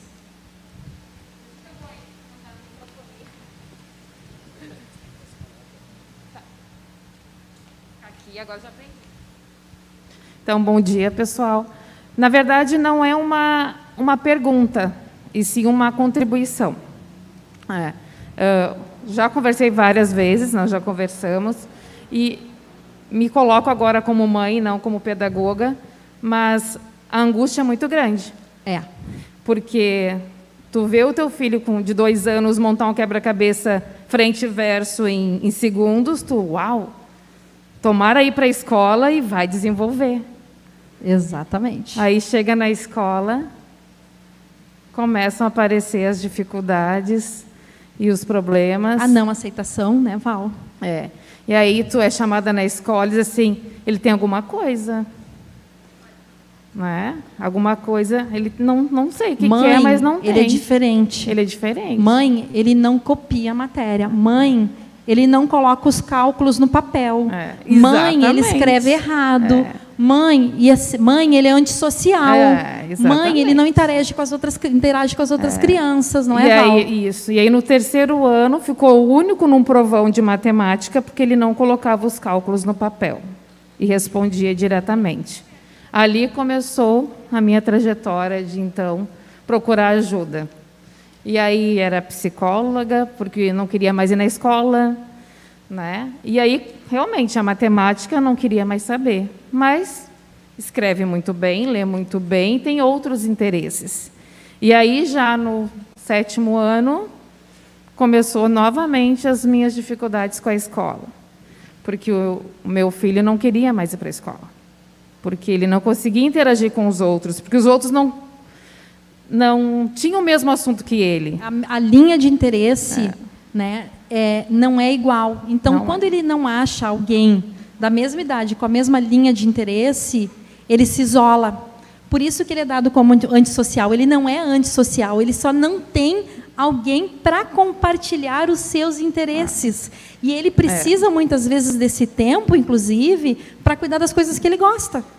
Ele não é infeliz sendo sozinho ou sendo ficando no cantinho dele. Não, ele é extremamente produtivo. Mas o papel de antissocial recai. É, mas aí a questão de tu chegar até a escola e expor isso e fazer com que a coordenação, orientação, o professor entenda, nossa, ele é um preguiçoso. Ele não quer nada com nada. Por que tu não troca ele de escola? Eu ouvi isso da coordenadora. Eu disse: não, vocês têm que adaptar o material para o meu filho. Porque ele vai muito bem em português, ele escreve muito bem, ele lê muito bem, ele tem interesse em outras coisas. Mas a matemática bloqueou de vez. E aí começou a se isolar. Aí me chamaram e disseram assim: ele é autista. Por quê? Porque ele fica lá no canto dele, ele não quer falar com ninguém, mas ninguém compartilha da mesma ideia, não dão uma chance. Bom, a minha briga, a minha briga foi tanta que realmente eu tive que trocar o Juliano de escola. Eles ganharam essa batalha. Não, não consegui. Porque meu filho estava sofrendo, eu vi o sofrimento dele cada vez mais, e ele se afundando numa depressão, troquei de escola. E aí, graças a Deus, agora as coisas estão indo. Hoje já vai fazer 18 anos, e agora acho que ele já começou a entender o mundo dele e se achar, mas não é fácil. E não desista. Obrigada, Val. Mais alguém, gente? Aqui. Não. Bom dia. Eu Bom queria dia. fazer uma contribuição pegando um gancho da mãe e teu. Na verdade, a inclusão é, para nós mais antigos, professores, era muito difícil nós entendermos, mesmo com cursos de especialização, pós, nós íamos para outras áreas. E eu até quero dar o testemunho que eu trabalhei com várias crianças em uma sala de aula com 30 alunos, eram inclusão e eu não entendia. Mas como eu sempre trabalhei muito com o coração, com a emoção, eu auxiliei aqueles alunos com carinho, com afeto, mas muito depois que eu fui entender que era outra coisa que eles precisavam. Então, na verdade, eu sempre balanço muito, converso com os colegas sobre o, o seguinte assunto, que nós temos que correr atrás de formações. Eu voltei a estudar, eu voltei a me especializar. Parabéns. Para poder estar contribuindo. Uh, sem ir contra as coisas que estão acontecendo, porque o professor estudou anos, e daí entra numa sala de aula e tem as inclusões. O professor, a professora também é pai, também é mãe. E ele sofre com isso também, mas ele não tem o conhecimento. Então nós temos que correr atrás e nós temos que ter o entendimento que os nossos colegas, a maioria, não tem esse conhecimento. Então vamos dar oportunidade para eles. Vamos mostrar com os cursos de formação, com as capacitações e com as facilitações que estão vindo por aí. Então, eu queria dizer assim, ó, eu sei que deve ser muito grande, que eu tenho também pessoas especiais na família, mas eu entendo todo o entorno que existe. Então, nós temos que estar junto, construindo, e daí eu queria dar essa contribuição, tá? Professora, olha só, muito legal a sua fala, porque é algo que tem que ficar muito claro, né? E eu digo, eu sou pedagoga, Janete ali foi minha colega, né, Janete? Nós perpassamos pela disciplina de educação especial E ela foi muito, muito, muito reduzidinha, né? Com o tanto de coisas que a gente tem que saber, né? O tanto de conhecimento que a gente tem que ter. Então o erro já começa no curso superior que não dá a formação devida para né, a pessoa da área de educação. E é uma luta que a gente vem travando também, e isso vai para o plano decenal, que a gente vai tentar as parcerias com universidades para mudar as grades. Uhum. Né? Porque a educação especial ela precisa ser mais específica. Né? Ela precisa ser mais aprofundada, os professores precisam ter mais base, mais suporte. Vai precisar de uma pós? Vai, mas que o professor saia da sua, da, da sua formação inicial com maior base. Né? Dentro da, da, da, lei que nós colocamos, né, que a gente, do projeto de lei, a gente já solicita, inclusive, formação, né, dentro da lei, formação para o professor que está em sala de aula. Que a Secretaria de Educação forneça devida formação para que o professor desenvolva esse olhar, porque ele não sai da universidade com essa carga, com essa base. E é só na, na, ali na prática, porque na teoria é muito fácil. Na prática, é muito difícil. Né? Mas a senhora está de parabéns, viu? Obrigada. Eu queria até fazer um, uh, mais uma. Uh, quando eu fui dar, dar aula na, na escola, eu realmente a realidade era totalmente inverso do que eu imaginei. E daí eu sofria de ver tanto problema. Eu fui estudar. Eu fui tentar melhorar para dar o atendimento melhor, mas daí tem que vir as oportunidades para os professores, tá? Exato, Obrigada. exatamente. Mais alguém? Acho que lá perguntas estão.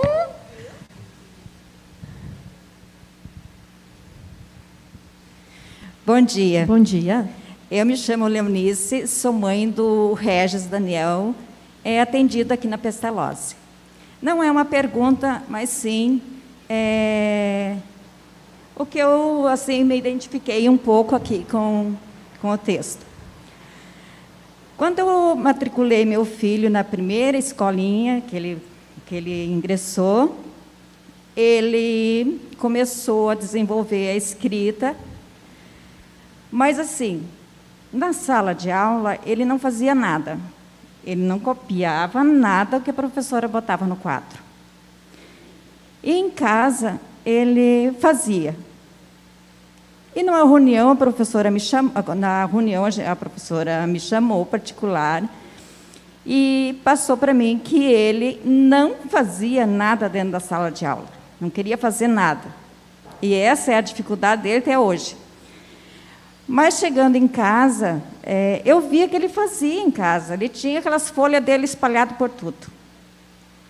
Então eu pensei, mas por quê? Como assim? Recadei, peguei todas as folhas que ele tinha em casa, que ele fazia, e levei para a professora. Daí a professora disse: Mas como? Isso aqui eu passei no quadro, mas ele não copiou. Eu disse: Não, mas ele fez em casa. Ele passou todo na folha em casa. Então ele passou assim, ó, certinho, tudo como ela tinha passado no quadro, ele, passou, ele fez em casa. E depois eu me mudei de cidade, coloquei ele em outra escola. Isso tudo ele perdeu porque ele ficou com uma professora que batia de frente com ele. Era assim, olha, ele, ele se transformava. E eu, eu sofri, ele sofreu muito com essa professora, que eu, eu achava, eu acho assim que ela não teve o devido é, conhecimento para lidar com ele.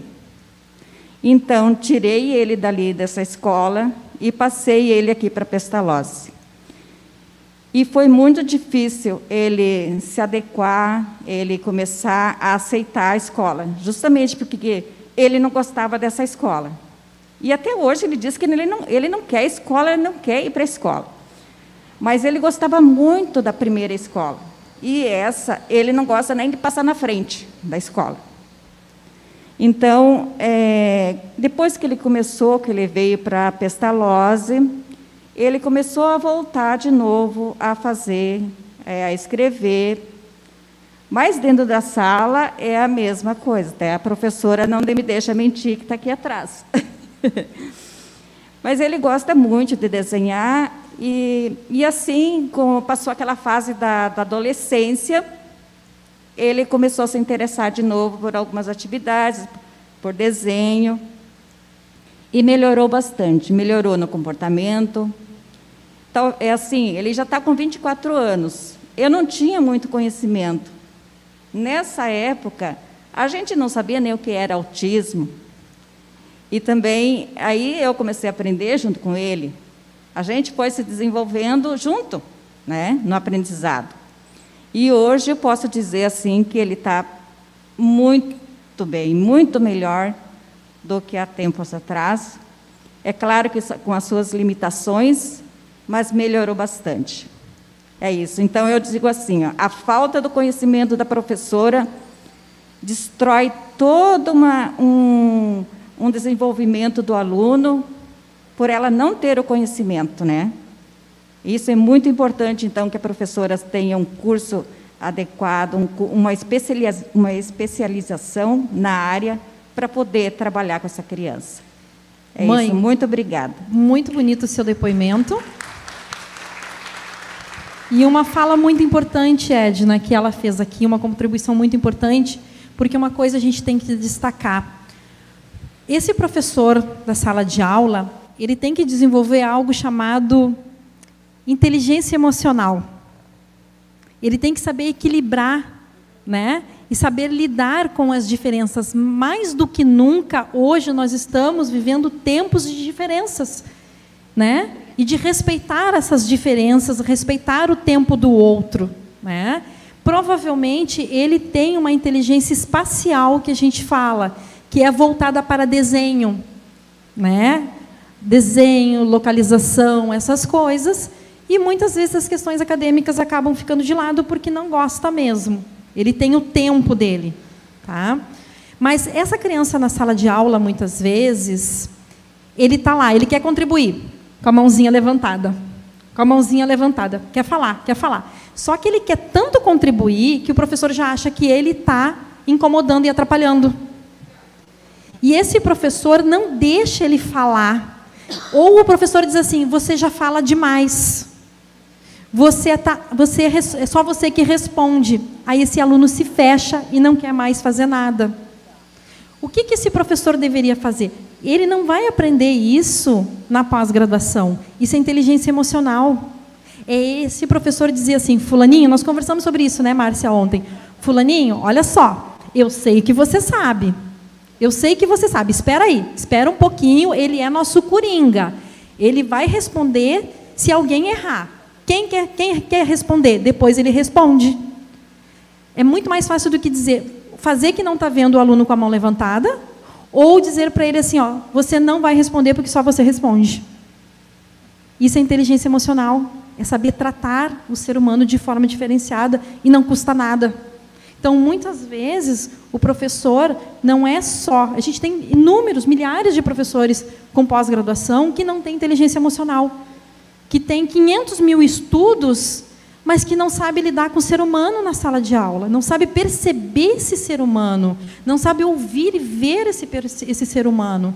Né? Então, eu acho que é um conjunto. Quando a prof aqui da frente diz, né, eu preciso me especializar e eu gostaria, né, mas eu tenho amor, eu tenho carinho, eu tenho visão, e isso me fez continuar, isso é inteligência emocional. É uma professora que muitas vezes, sem informação, acabou fazendo a diferença. Não como ela gostaria de fazer, mas ela fez a diferença. Certo, mãe? Muito obrigada. Oi. Oi. Bom dia, meu Bom nome dia. é Monique.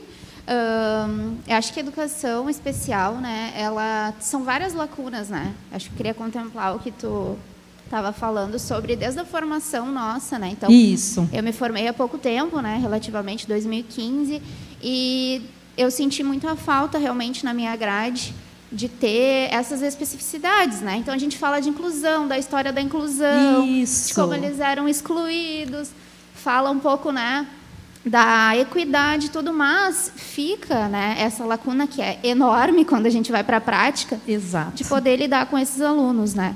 Então, claro, busquei especialização, tudo. E mesmo assim, quando a gente tem o aluno, né, dentro do TEA, por exemplo, a gente tem, né, ninguém aqui é igual, muito menos, Exatamente. né, o aluno de inclusão. Então, a gente precisa muito dessa questão que agora tu falou, que é o emocional, né, esse olhar sensível, né, tu poder ter um engajamento com a família, tu poder, né, uh, avaliar junto com a tua coordenadora o quais são, né, os teus planos, né, para aquela criança, né, o que ele precisa.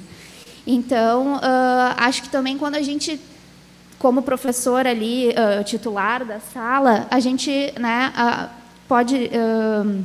ah, vi que esse meu aluno, ele é TEL, ele, né, tem, ou ele é, enfim, tem altas habilidades. A gente procura também um serviço de saúde, né? Aqui, por exemplo, no município, que também é uma outra barreira. Procurar Exato. um neurologista, né? Não que a gente precise, né? realmente desse laudo para atendimento, mas para muitas outras coisas acaba precisando, né? Exatamente. Então também aí uma, uma família que já não tem, né, uma condição financeira que possa buscar outros atendimentos acaba também sendo mais uma barreira para essa criança. Então é uma caminhada difícil, né?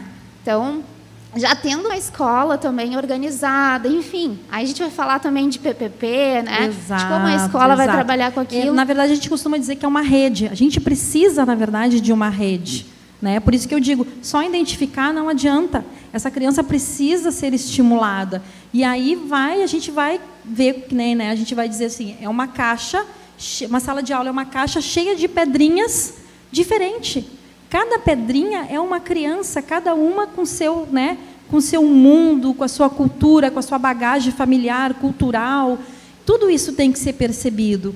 Mas e quando o professor detecta isso e tem que fazer os encaminhamentos? Para onde vai? O que, que eu vou fazer, né? né? O que, que vai fazer? Né? O professor sozinho também não tem como dar conta disso. Então é isso também que a gente vem trabalhando nas políticas, né? nas leis, para que a gente consiga fazer que a rede funcione né? Serviço social, saúde, educação. Não basta só a educação, a gente tem que ter outros pés aí nessa mesa para ela parar. Isso aí. Tá bom, prof? Obrigada. Mais alguma mais alguma pergunta? É, aqui é assim, viu? É, é, meia hora, mas aí depois a gente explora, explora, explora. Uh, Acho que vocês perceberam a importância do assunto, como tudo está interligado, interrelacionado e como conhecimento é fundamental, né? O, o que é importante nós discutirmos sempre esses assuntos e avançarmos cada vez mais e provocar sim os gestores públicos para que deem andamento nas políticas, elas precisam existir. Helena Antipoff, lá em 1900 e pouquinho, já falava sobre isso, já trouxe isto. Né? Então já tem essa esse não é um assunto novo. Não é um assunto novo. E nós estamos em 2022 discutindo ainda a não inclusão, como é da pessoa com deficiência intelectual também. A invisibilidade deles é muito grande.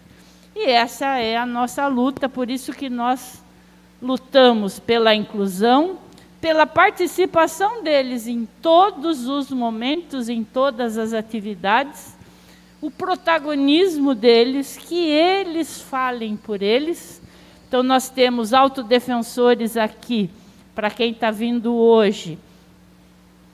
Lá do Amazonas, o rapaz saiu, o Raimundo, né, Raimundo? Saiu de Manicoré, no interior da Amazônia, na quinta-feira, às 13 horas, chegou às quatro da manhã em Manaus, do sábado, para depois vir atravessar o Brasil todo e estar aqui conosco.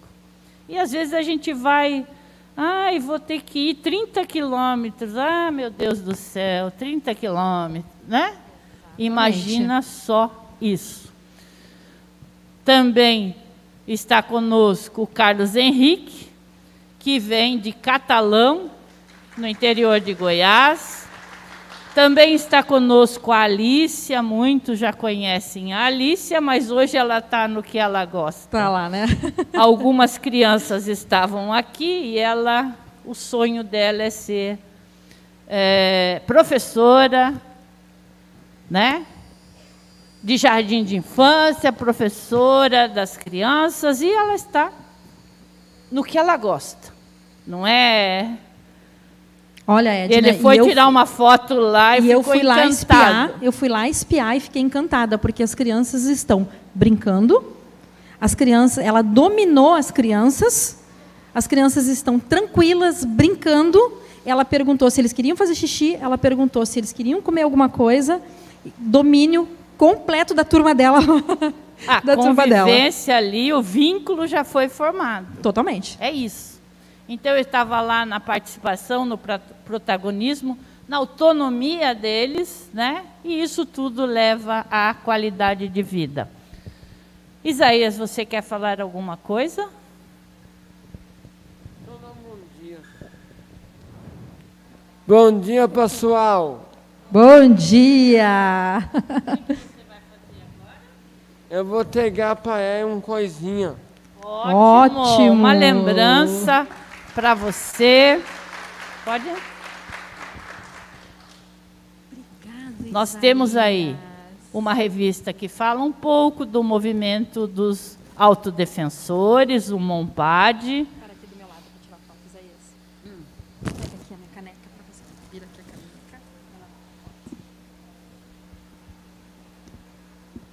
Uma revista que conta um pouco da história da federação, onde verá também menção a Helena Antipoff.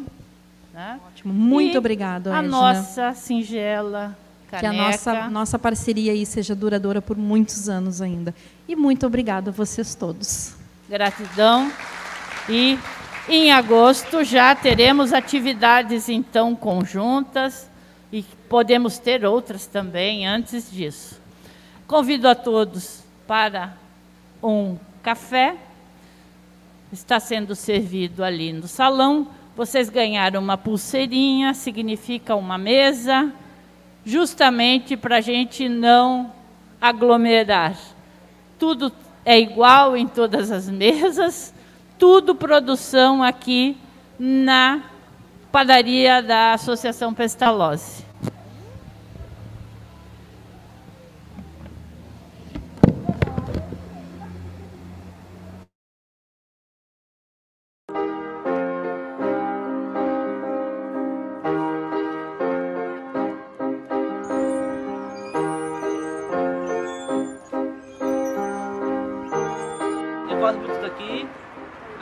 É bacana, aqui é muito legal. Tem vários os amigos, os amigos bons. Aqui eu, eu brinco, faço bastante coisa boa.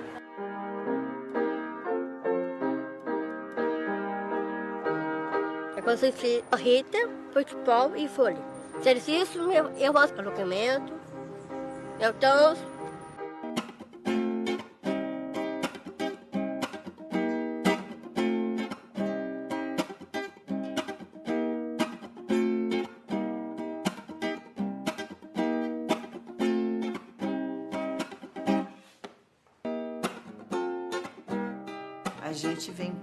Pensando que vai ensinar ah, adolescentes e adultos a escrever, a se portar numa sala de aula e tu te depara com pessoas especiais que te ensinam a como tu ser gente, a como tu tratar o outro como tu gostaria que fosse tratado.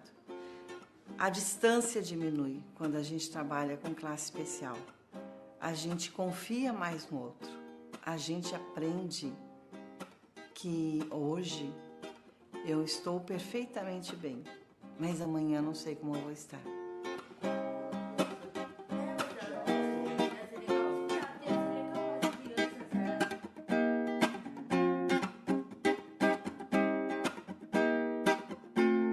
Então, o que, o projeto propõe seria a criação de um grupo, que é o Grupo de Autodefensores, que iriam uh, fazer proposições e defender algumas atividades, enfim, em prol dos demais colegas. Seria a questão, né, a defesa do lema nada sobre nós sem nós. Eles mesmos poderem pensar em ações que eles próprios serão beneficiados.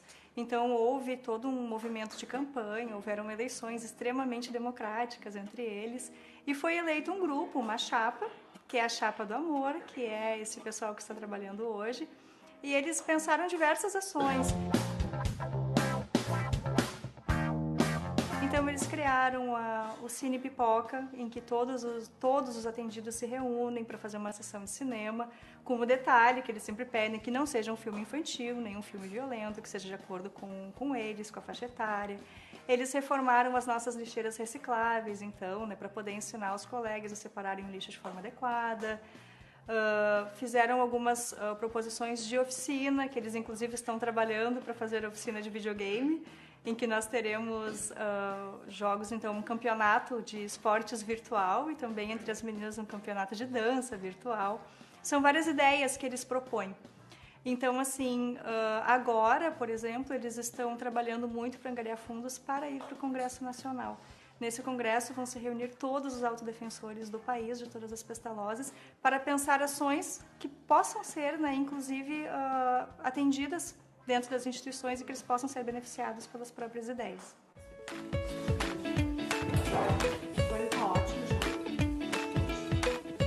Oficina de padaria uh, tem o objetivo né, de encaminhar para o mercado de trabalho, uh, mas a maior, a maior preocupação das oficinas é autonomia né, na vivência e convivência deles.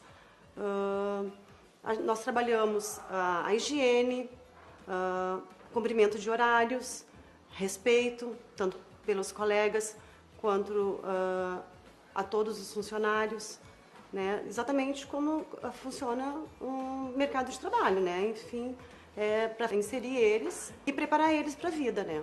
Essa é a maior preocupação que nós temos. E eu apoio fazer massa e quem me ensinou a foi a Sussara. Sussara me apoia e eu apoio ela muito. Porque é legal, é muito te divertido e eu fico junto com meus amigos também, me divertido um pouco.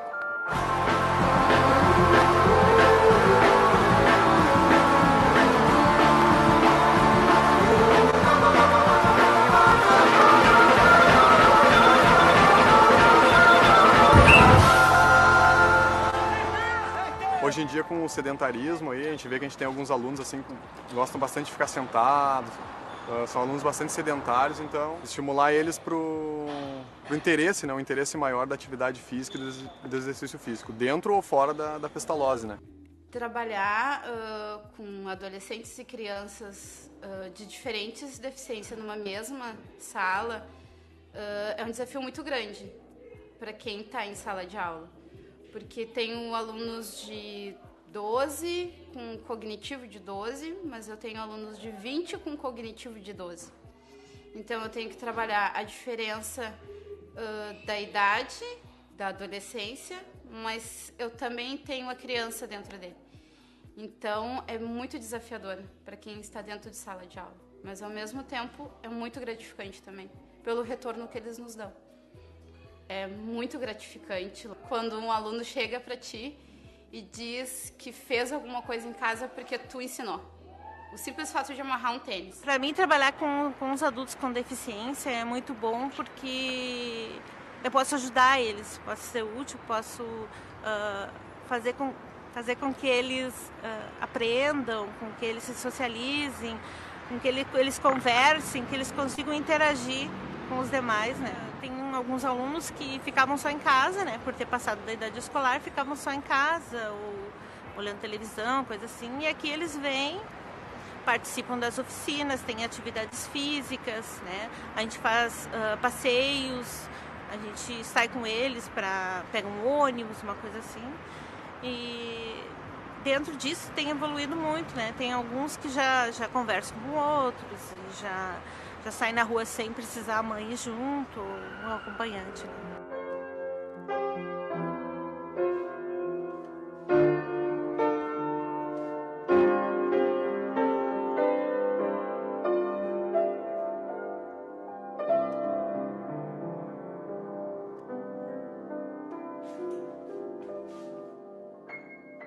Uh, nós temos trabalhado com, com elas uh, a parte musical, né? essa parte mais música, não, não dando prioridade à questão de, de aprender o instrumento em si, mas primeiramente eles aflorar a parte musical deles, né? essa questão de, de entender o, o sentimento que a música passa, se a música é triste, se a música é alegre, uh, por que, que a gente sente a vontade de, de, de, de, dançar quando a música é alegre, por que, que a gente sente vontade de chorar quando a música é mais triste. E, e desde que a gente começou esse tipo de trabalho, tem notado alguns resultados. Por exemplo, até a parte de cantar com eles, ela não falava muito através do, do canto em conjunto, ela mais legíveis, então tem sido bem musical com, com os atendidos aqui no Pessalozzi.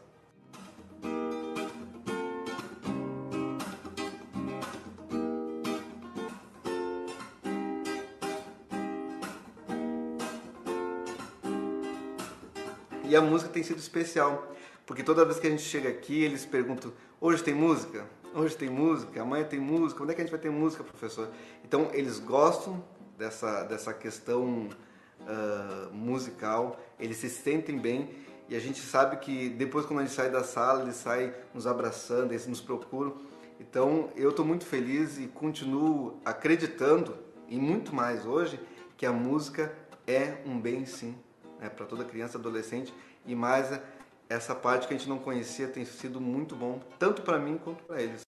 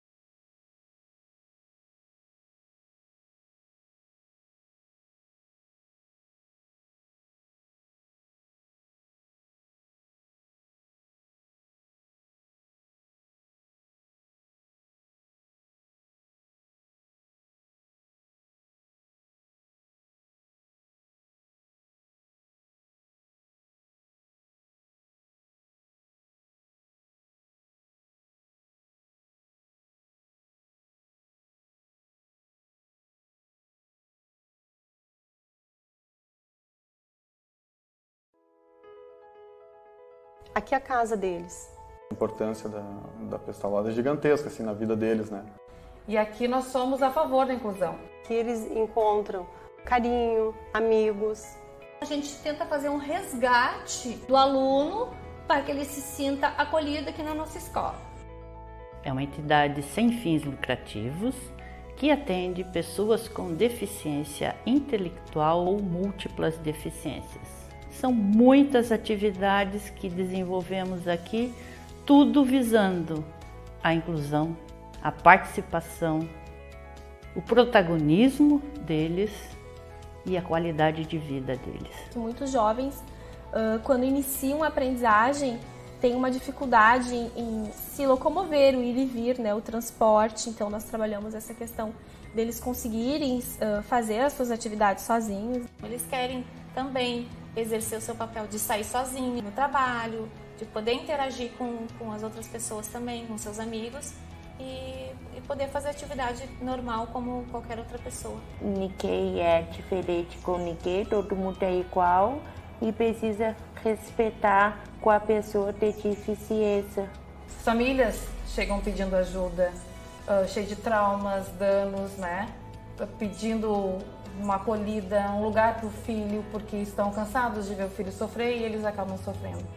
Então aqui a gente respeita tanto a família, acolhe a família, respeita o aluno. A participação dessas famílias também, junto com seus filhos, a aceitação deles nesse processo de, de inclusão, de autonomia, protagonismo. Está sempre apoiando, liga para perguntar, elas se preocupam, não é só a questão deles estarem aqui dentro, né? É bom, tu sente acolhida. Eu fui muito bem acolhida aqui, e ela também, que ela progrediu bastante. Hoje a Luana socializa e ela ama a escola. Para ela, a melhor coisa é vir para a escola. Estudar é bom para aprender, passar de ano. O objetivo da aprendizagem é capacitar os jovens, inserir eles no mercado de trabalho e acompanhar eles durante o processo. Então, durante todo esse percurso, tanto a parte teórica quanto a parte prática, a Pestalozzi e a equipe de profissionais fazem esse acompanhamento do jovem. Esporte e rendimento, a gente tem o futebol e uma equipe de atletismo. é uma melhora na autoestima deles. Logo que eles iniciam, eles não têm essa, essa concepção, essa consciência do potencial que o corpo deles, onde pode chegar.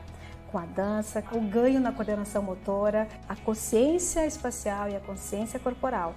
Então eles vão evoluindo e percebendo quanto eles também podem criar. Eles conseguiram chegar onde talvez nem eles imaginassem, né, que eles pudessem ir. Assim.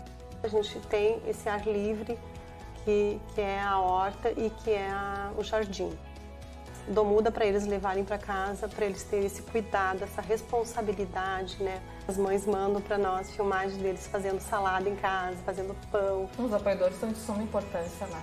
Sendo nós uma associação filantrópica, então a gente busca sempre parcerias, doações para conseguir manter. Eles crescem uh, imensamente, assim, são adultos hoje com sonhos e com objetivos. É muito prazeroso tu ver que o aluno alcançou aquilo que, que a gente ajudou a construir. Eu sou feliz aí!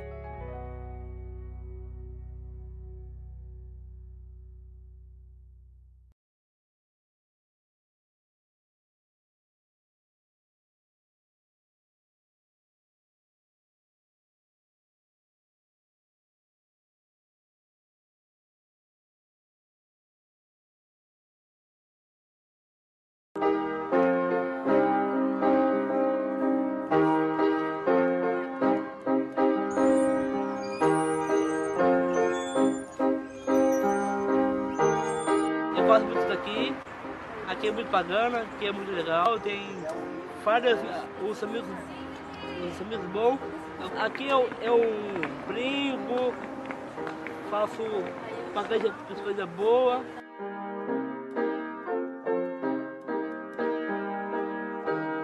Eu consegui Rita, futebol e folha. Exercício, eu, eu faço alojamento, eu danço,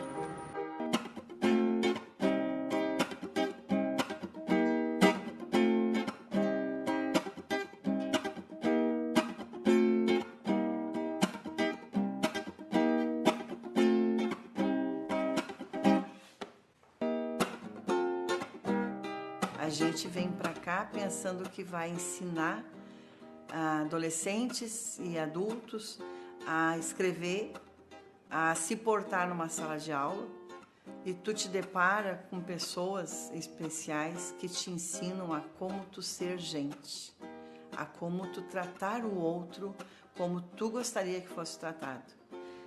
A distância diminui quando a gente trabalha com classe especial. A gente confia mais no outro. A gente aprende que hoje eu estou perfeitamente bem, mas amanhã não sei como eu vou estar.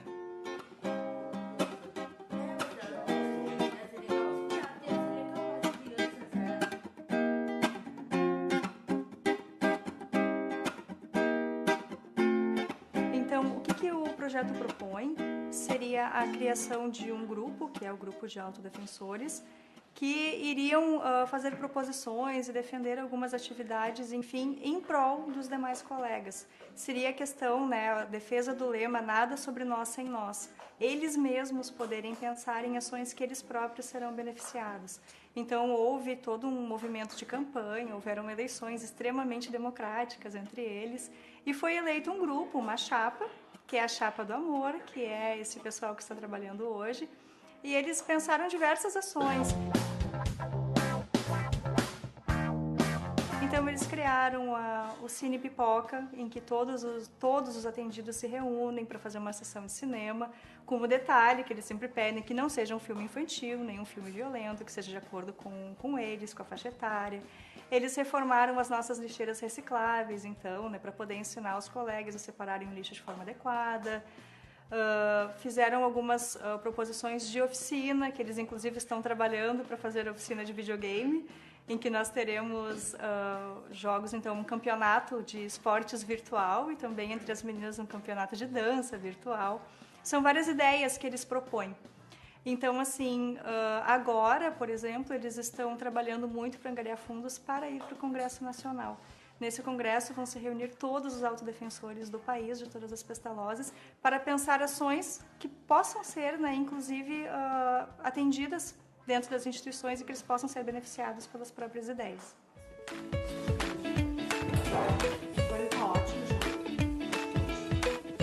Oficina de padaria uh, tem o objetivo né, de encaminhar para o mercado de trabalho, uh, mas a maior, a maior preocupação das oficinas é autonomia né, na vivência e convivência deles. Uh, a, nós trabalhamos uh, a higiene, uh, cumprimento de horários, respeito, tanto pelos colegas quanto a todos os funcionários, né, exatamente como funciona um mercado de trabalho, né, enfim, é, para inserir eles e preparar eles para a vida, né. Essa é a maior preocupação que nós temos. E eu apoio fazer massa e quem me ensinou a fazer massa foi a Sussara. Sussara me apoia e eu apoio ela muito. Porque é legal, é muito te divertido e eu fico junto com meus amigos também, me divertido um pouco.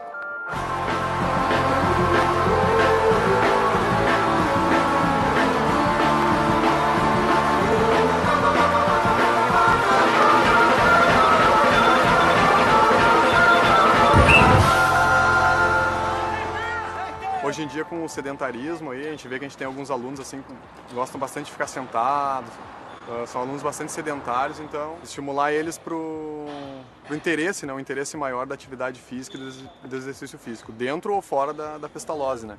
Trabalhar uh, com adolescentes e crianças uh, de diferentes deficiências numa mesma sala é um desafio muito grande para quem está em sala de aula porque tenho alunos de 12 com cognitivo de 12, mas eu tenho alunos de 20 com cognitivo de 12.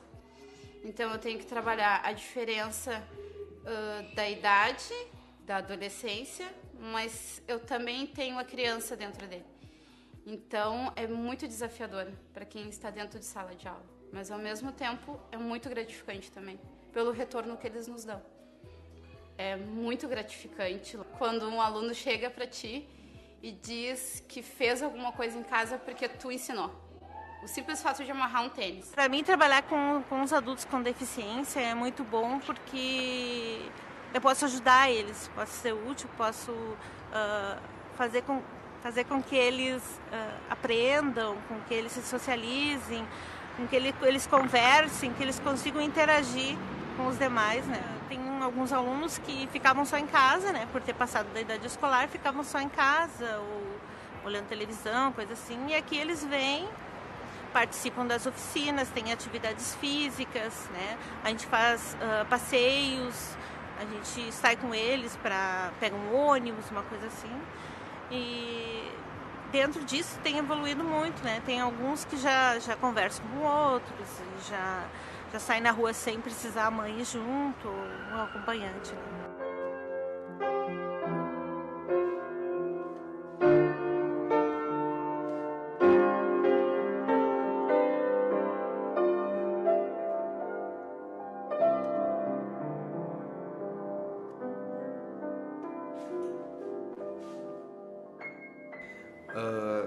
temos trabalhado com, com elas uh, a parte musical, né, essa parte mais música, não, não dando prioridade à questão de, de aprender o instrumento em si, mas primeiramente eles aflorar a parte musical deles, né? Essa questão de, de entender o, o sentimento que a música passa, se a música é triste, se a música é alegre, Uh, por que, que a gente sente a vontade de, de, de, de, dançar quando a música é alegre, por que, que a gente sente vontade de chorar quando a música é mais triste. E, e desde que a gente começou esse tipo de trabalho, tem notado alguns resultados.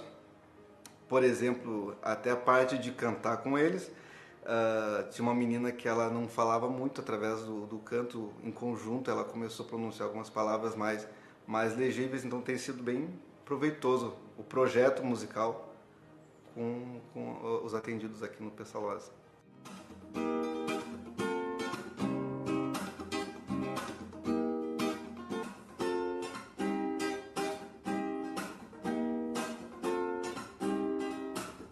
E a música tem sido especial, porque toda vez que a gente chega aqui, eles perguntam: hoje tem música? Hoje tem música? Amanhã tem música? Onde é que a gente vai ter música, professor?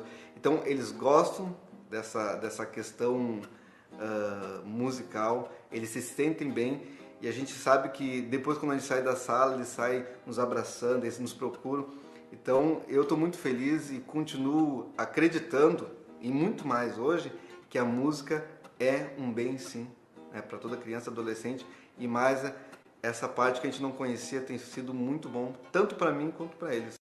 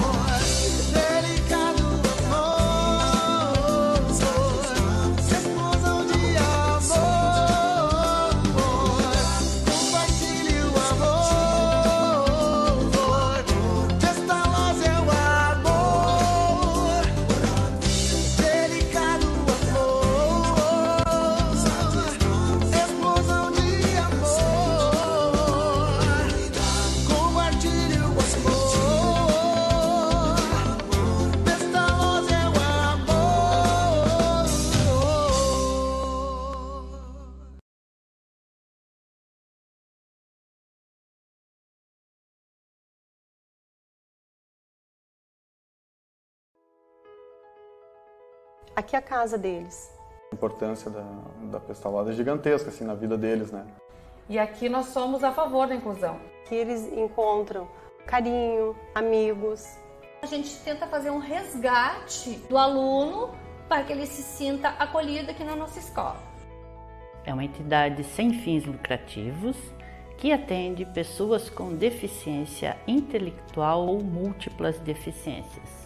São muitas atividades que desenvolvemos aqui, tudo visando a inclusão, a participação, o protagonismo deles e a qualidade de vida deles. Muitos jovens, quando iniciam a aprendizagem, têm uma dificuldade em se locomover, o ir e vir, né, o transporte. Então, nós trabalhamos essa questão deles conseguirem fazer as suas atividades sozinhos. Eles querem também exercer o seu papel de sair sozinho no trabalho, de poder interagir com, com as outras pessoas também, com seus amigos. E, e, poder fazer atividade normal como qualquer outra pessoa. Ninguém é diferente com ninguém, todo mundo é igual e precisa respeitar com a pessoa ter deficiência. Famílias chegam pedindo ajuda, uh, cheio de traumas, danos, né? Pedindo uma acolhida, um lugar para o filho, porque estão cansados de ver o filho sofrer e eles acabam sofrendo. Então aqui a gente respeita tanto a família, acolhe a família, respeita o aluno. A participação dessas famílias também, junto com seus filhos, a aceitação deles nesse processo de, de inclusão, de autonomia, protagonismo. Está sempre apoiando, liga para perguntar, elas se preocupam, não é só a questão deles estarem aqui dentro, né? É bom, tu sente acolhida. Eu fui muito bem acolhida aqui, ela também, que ela progrediu bastante. Hoje a Luana socializa e ela ama a escola. Para ela, a melhor coisa é vir para a escola. Estudar é bom para aprender, passar de ano. O objetivo da aprendizagem é capacitar os jovens, inserir eles no mercado de trabalho e acompanhar eles durante o processo. Então, durante todo esse percurso, tanto a parte teórica quanto a parte prática, a Pestalozzi e a equipe de profissionais fazem esse acompanhamento do jovem. Esporte e rendimento, a gente tem o futebol e uma equipe de atletismo. é uma melhora na autoestima deles. Logo que eles iniciam, eles não têm essa, essa concepção, essa consciência do potencial que o corpo deles, onde pode chegar. Com a dança, o ganho na coordenação motora, a consciência espacial e a consciência corporal. Então eles vão evoluindo e percebendo quanto eles também podem criar. Eles conseguiram chegar onde talvez nem eles imaginassem, né, que eles pudessem ir. Assim. A gente tem esse ar livre que, que é a horta e que é a, o jardim dou muda para eles levarem para casa, para eles terem esse cuidado, essa responsabilidade, né? As mães mandam para nós filmagens deles fazendo salada em casa, fazendo pão. Os apoiadores são de suma importância lá. Sendo nós uma associação filantrópica, então a gente busca sempre parcerias, doações para conseguir manter. Eles crescem uh, imensamente, assim, são adultos hoje com sonhos e com objetivos. É muito prazeroso tu ver que o aluno alcançou aquilo que, que a gente ajudou a construir. Eu sou feliz aí!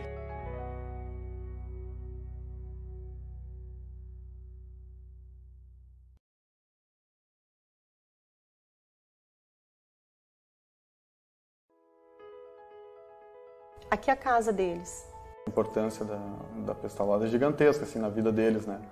E aqui nós somos a favor da inclusão. Que eles encontram carinho, amigos, a gente tenta fazer um resgate do aluno para que ele se sinta acolhido aqui na nossa escola. É uma entidade sem fins lucrativos que atende pessoas com deficiência intelectual ou múltiplas deficiências. São muitas atividades que desenvolvemos aqui, tudo visando a inclusão, a participação, o protagonismo deles e a qualidade de vida deles. Muitos jovens, quando iniciam a aprendizagem, têm uma dificuldade em se locomover, o ir e vir, né, o transporte. Então, nós trabalhamos essa questão deles conseguirem fazer as suas atividades sozinhos. Eles querem também exercer o seu papel de sair sozinho no trabalho, de poder interagir com, com as outras pessoas também, com seus amigos e, e poder fazer atividade normal como qualquer outra pessoa. Ninguém é diferente com ninguém, todo mundo é igual e precisa respeitar com a pessoa ter deficiência. Famílias chegam pedindo ajuda, uh, cheio de traumas, danos, né? Pedindo uma acolhida, um lugar para o filho, porque estão cansados de ver o filho sofrer e eles acabam sofrendo. Então aqui a gente respeita tanto a família, acolhe a família, respeita o aluno. A participação dessas famílias também, junto com seus filhos, a aceitação deles nesse processo de, de inclusão, de autonomia, protagonismo. Está sempre apoiando, liga para perguntar, elas se preocupam, não é só a questão deles estarem aqui dentro, né? É bom, tu sente acolhida. Eu fui muito bem acolhida aqui, ela também, que ela progrediu bastante. Hoje a Luana socializa e ela ama a escola. Para ela, a melhor coisa é vir para a escola. Estudar é bom para aprender, passar de ano. O objetivo da aprendizagem é capacitar os jovens, inserir eles no mercado de trabalho e acompanhar eles durante o processo. Então, durante todo esse percurso, tanto a parte teórica quanto a parte prática, a Pestalozzi e a equipe de profissionais fazem esse acompanhamento do jovem. Esporte e rendimento, a gente tem o futebol e uma equipe de atletismo. é uma melhora na autoestima deles. Logo que eles iniciam, eles não têm essa, essa concepção, essa consciência do potencial que o corpo deles, onde pode chegar. Com a dança, o ganho na coordenação motora, a consciência espacial e a consciência corporal.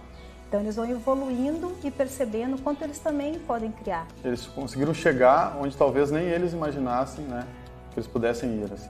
A gente tem esse ar livre que, que é a horta e que é a, o jardim dou muda para eles levarem para casa, para eles terem esse cuidado, essa responsabilidade, né? As mães mandam para nós filmagens deles fazendo salada em casa, fazendo pão. Os apoiadores são de suma importância lá. Sendo nós uma associação filantrópica, então a gente busca sempre parcerias, doações para conseguir manter. Eles crescem uh, imensamente, assim, são adultos hoje com sonhos e com objetivos. É muito prazeroso tu ver que o aluno alcançou aquilo que, que a gente ajudou a construir. Eu sou feliz aí!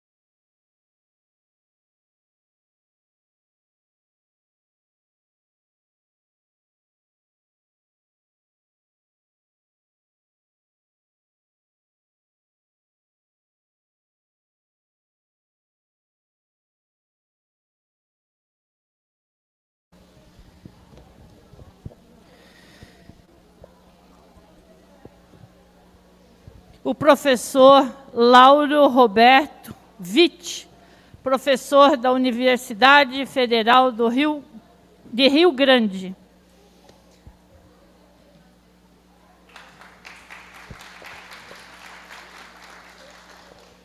Quer sentar lá? Quer mais para cá? Isso. Uma aguinha, será?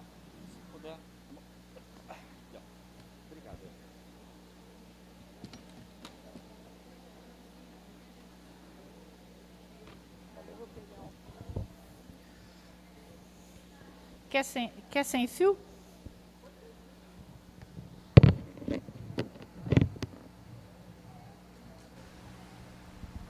Alô, alô. Então, uh, bom dia. Uh, uh, estou muito contente, agradeço enormemente este convite. Um, um grande satisfação de estar presente neste grupo. O, eu sou professor da Universidade Federal de Santa Maria.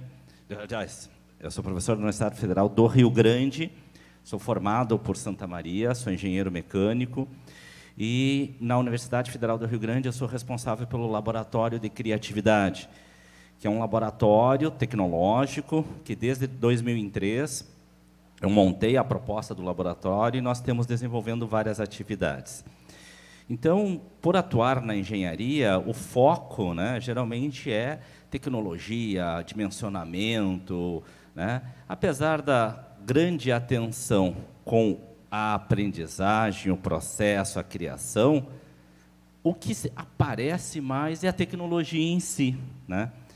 E junto com outros ambientes, né, onde tem um foco forte na, no processo, na aprendizagem, se verifica que o que nós fizemos é relevante também né, para outras áreas, ou seja, da mesma forma, não é que o que a gente faz na engenharia é importante, em termos de utilidade, mas nas outras áreas tem os princípios básicos da engenharia. Então, como se a engenharia fosse lá, não, ela é, está em, em todos os ambientes que se utiliza de processo de construção, aprendizagem, construção de soluções. Tá? Então, vamos lá. Então, é laboratório de criatividade empreendedora, porque a, a criatividade em si muitas vezes confunde com criatividade artística, né? Então, é uma, a, a proposta é criar soluções para resolver problemas. Digamos, é uma necessidade de roupa, é uma necessidade de casa, é uma necessidade de enxergar de um óculos, é necessidades que vai solucionar as necessidades das pessoas que precisam comer, que precisam vestir. E para isso tu vai empreender ou pegar essa, essa, essa, esse processo criativo e aplicar para resolver. Porque muitas vezes a arte ela tem um fim na arte em si, ou seja, numa expressão. Ela não tem muitas vezes utilidade. No caso, o nosso foco de criatividade é para ter função. Tá? Uh, e o tema falando significação criativa do que existe para a vida, ou seja, nós damos significado ao que nós temos, aplicando dentro do momento de vida que nós temos. Tá? Ou seja, em toda, ao longo de toda a nossa fase de vida, nós vamos ter objetos, né, as, há uma mudança grande de produtos, e o que eu encontro na minha condição econômica, na minha condição regional, né, se eu estou em Bagé, Porto Alegre, uh, Amazonas, né, onde eu estiver, as condições serão diferentes. É o que existe. E eu vou usar de uma forma criativa para resolver a minha situação de vida, para onde eu existo. Tá? Então vamos lá. O objetivo do laboratório é estimular a criatividade dos alunos de engenharia, tendo foco no resultado. Então essa é a concepção geral para um laboratório típico de engenharia. Tá? A base do trabalho, ou seja, apesar de ser foco na engenharia, nós temos alguns princípios que foram construídos lá sua, no seu início, ou seja, atender os mais necessitados, então, nós não vamos nos preocupar fortemente em atender uh, grandes corporações ou quem já tem soluções, melhorar. Não. Nós temos no nosso país pessoas ou grupos que têm necessidades maiores. Digamos, a engenharia, geralmente, é feita para rico. Por quê? Quem pensa em fazer engenharia pensa no automóvel, porque não pensa na bicicleta. A bicicleta é muito mais útil, mais importante para uma sociedade, um bom projeto de bicicleta do que um bom projeto de automóvel, porque tu vai repercutir muito mais. Mas, geralmente, você pensa, e tem, já você tem muitos profissionais que trabalham com isso. Né? Focar em projetos ecologicamente corretos, o nosso princípio de não podemos poluir, diminuir, temos que diminuir a quantidade de energia, otimizando a condição natural que nós temos. Sustentabilidade, às vezes ela pode ser muito interessante ecologicamente, atende, atende uma necessidade, mas passa a ser quase que romântico, porque não se sustenta economicamente, não consegue, a gente não consegue evoluir esse processo. Né? E o foco inicial lá que é precisamos resolver problemas. Tá? Então, criatividade, atividade de criar. Tá? Por que, que eu trouxe essa questão, atividade de criar, numa dimensão divina? No começo, Deus criou os céus e a terra.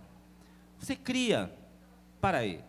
Mas na uma concepção divina, Deus, com a sua onipotência, ele cria do nada. Ele não teve um, um, um outro, né? Um, que veio antes e auxiliou ele a criar.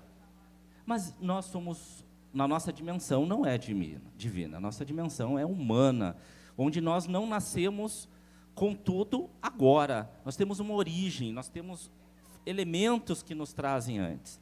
Então, nós vamos criar através da observação e percepção. Então, se nós pegarmos um indivíduo que não estudou matemática, não tem formação, como é que você vai dar um cálculo complexo e querer que ele resolva? Ele não vai conseguir. Então, nós temos que ter elementos para criar em função de elementos que nos fornecem. Né? Uh, então, primeira coisa é ter a capacidade de observar, ou seja, nossos órgãos sensoriais perceber o que existe, observamos, percebemos, damos significados a eles, construímos conceitos, ou seja, verificamos o que é uma porta, uma janela, um, um parafuso, nós sabemos as, o que, que ele representa, visualizamos soluções, e depois podemos formular arranjo criando soluções, valores com uh, comportamentos e saberes, ou seja, aprendizagem, novos, criando soluções. Às vezes nós aplicamos uma solução, ah, inventei. Não, tu tem na memória informações que tu tinha do pai, do avô, uh, algo que tu viu na televisão, numa revista, e tu acha, ah, estou inventando. Não inventou do nada. Toda a tua formação, já, nós partimos de algo que nós já temos, informações que nós fizemos como um novo arranjo. Uh, não sei se todos conhecem o que é uma ikebana, né? Onde eu tenho os elementos, pego elementos na natureza, coleto eles, observo, identifico e vou montar um arranjo. Eu vou montar, mas eu preciso ter as folhas. Né? Na visão divina, não precisava ter o passado. Nós sim, nós precisamos ter elementos anteriores para poder criar. Passa para nós aí.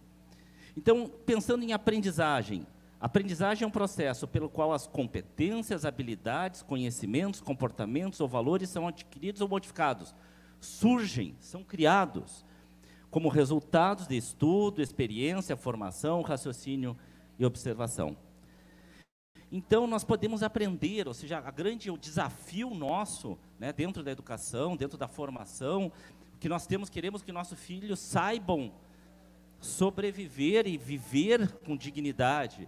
E esta aprendi é, esse saber, ele não vem pronto. Ele vai ao longo dos anos se desenvolvendo. Mas como é que ele faz isso? Não, é aquela história que a gente tem os alunos e no dia de aula eu quero ir bem na prova, Deus te ajude. Não estuda, tu não estudou nada, tu não sabe nada. Não tem como, não adianta rezar Pai Nosso, 20 Pai Nosso, 30 Ave Maria, que não vai dar certo. Tu não vai conseguir. Porque tu não sabe o que, que os elementos para compor a tua prova. Tá? Então não é divino, tu tem que ter elementos. Né? Uh, então nós aprendemos por espelhamento, absorvendo conhecimentos elaborados, criados por outras pessoas. Então não, não podemos inventar tudo, inventar a roda. Estamos nos comunicando hoje pela nossa linguagem oral, né, pela forma oral, porque dos primórdios as pessoas aprenderam a falar e hoje a gente consegue conversar para quem tem problema de audição, tem libras, mas leva um tempo para aprender. Ou seja, a gente não inventa, se a gente for inventar tudo que nós temos, a gente não vai conseguir nessa fase de vida se superar. Então nós aprendemos muito copiando o que outros criaram. Mas também podemos criar novos conhecimentos a partir de percepção do, e do raciocínio, elaborando soluções dentro da realidade pessoal. Aí que está a criatividade. A questão de criar através de elementos. Tá? Então, nessa concepção que eu digo que a engenharia, né, ela está nos outros ambientes, que às vezes as pessoas não percebem, mas os outros ambientes são fundamentais para a engenharia, não são coisas diferentes. A base é a mesma, é percepção, identificação, codificação dos elementos, verificação da, de uma intenção, de uma funcionalidade, formação de uma solução, aplicação e resultado. Ou seja, tu aprendeu a fritar um ovo, sozinho alguém te explica. Né? Tem, uh, meus pais uh, me uh, contaram que muito moravam no interior, foi receitado para minha mãe uma cápsula, um remédio com cápsula. meu pai abriu a cápsula e foi tomar o pozinho que estava dentro, porque aquela cápsula de plástico ele não imaginou que alguém podia comer aquilo. Né? Não explicaram para ele que aquilo ali vai engolir inteiro. Né? Ele abriu e que remedinho ruim que está. Depois que ele, ele foi alguém que já sabia que como é que era uma, um remédio com cápsula. Né? Então, ao longo da vida, surgirão novos momentos que os conhecimentos trazidos não serão suficientes. O que, que o professor, a mãe, o pai, a família ensinou, não vai dar conta né? uh, para atender às necessidades, exigindo dos indivíduos que venham a criar novas soluções peculiares ao longo da sua vida. Se só, nós só nós ensinarmos a fazer o que os pais já fazem, e quando surgir uma, uma situação nova, como é que este filho, como é que essa nova pessoa se resolve, porque ela nunca foi treinada a criar suas próprias soluções. Ela aprendeu a reproduzir, que é importante. A gente não nasce sabendo tudo, a gente vai se assemelhando, copiando. Só que com o tempo, temos que ter a cultura, o hábito de buscar suas próprias soluções, para que os pais não estarão sempre, e quando não estiver e surgir um problema que não era o problema comum, um problema novo, como é que eu crio uma nova solução? É criar, tentar resolver isso. Vamos lá. E aí nós temos o grande desafio, não só para a engenharia, mas para a vida de todos nós. Como ser criativo? A gente sabe como aprender um cálculo que alguém já aprendeu a fazer os números e fazer quando a gente reproduz eles. Aprendi porque eu estou copiando, espelhando. Agora, quando surge uma situação nova, como é que eu sei resolver problemas novos? Eu vou trazer uma lista de, de, dos projetos do laboratório que, através do exemplo das ações, elucidar o grande tema, que é a criatividade para a vida. Vamos lá. Então, este aqui é um, um, estudo que nós fizemos com a bicicleta feita em madeira. Tá? Esse trabalho, ele, não, ele, quando, ele levou uns quatro meses para chegar nessa situação. Tá? Uh, ela, não, ela não está aqui do nada. Passo próximo. Ela surgiu de um olhar anterior. Encontramos essa, esse modelo e dizemos, olha que modelo interessante. Estudamos, reformulamos, encontramos novos modelos e voltamos a uma solução proposta pelo laboratório de bicicleta. Por que essa bicicleta em madeira? Porque daqui a pouco, quem está lá no interior, ele colhe um galho de árvore, dá uma serrada, monta e tem uma bicicleta. Isso vai depender das rodas, que não são em madeira. Ecologicamente correto, viável, sustentável. Né? Então, esse é o escopo. Vamos lá. Uh, esse produto aqui, esse caixinha aqui, é um, é um banco feito de papelão. Então, qual é a proposta? Nós temos muito resíduo, nós trabalhamos muito com resíduo, ou seja, material descartável. Né? Útil para um vira, chamavam de lixo, né? é resíduo. Esse papelão que a sociedade tem, por que, que ele não pode virar um, objetos para a própria sociedade? Se pegar um pa papelão residual de uma cidade, um lixo, dobrar ele, pode fazer um banco. Ah, mas não vai resistir. Esse banquinho, nós fizemos avaliações numa série, uh, devido aos formatos que nós montamos com rigores de engenharia, resistiu a 540 quilos em média. Meia tonelada. Dá para botar meia tonelada em cima desse banquinho. Né? Então a proposta justamente era surpreender, dizer assim, ó, eu pego um papelão que vai para o lixo e consigo fazer um móvel, consigo botar meia tonelada em cima. Isso choca, mas é para realmente mostrar que é, é possível se nós nos desafiarmos a fazer. Vamos lá? Esse aqui é um outro estudo que ele teve origem de um projeto das Filipinas, né? Que era um, um, objeto que eles pegavam garrafas PET des, desmanchavam ela e faziam garrafas que se encaixavam. Né? Nós tínhamos aqui no Brasil, já tivemos algumas embalagens que tu, ela dá de, uma vez tu usa ela com produto, tu descarta, dá um reuso dela, né? Então, este formato aqui, esse estudo feito, é para que essa embalagem poderia ser uma embalagem de refrigerante, uma embalagem de um produto, um líquido, né? Termina o líquido, tu enche d'água e tu empilha. Tu pode fazer uma casa, pode fazer um muro.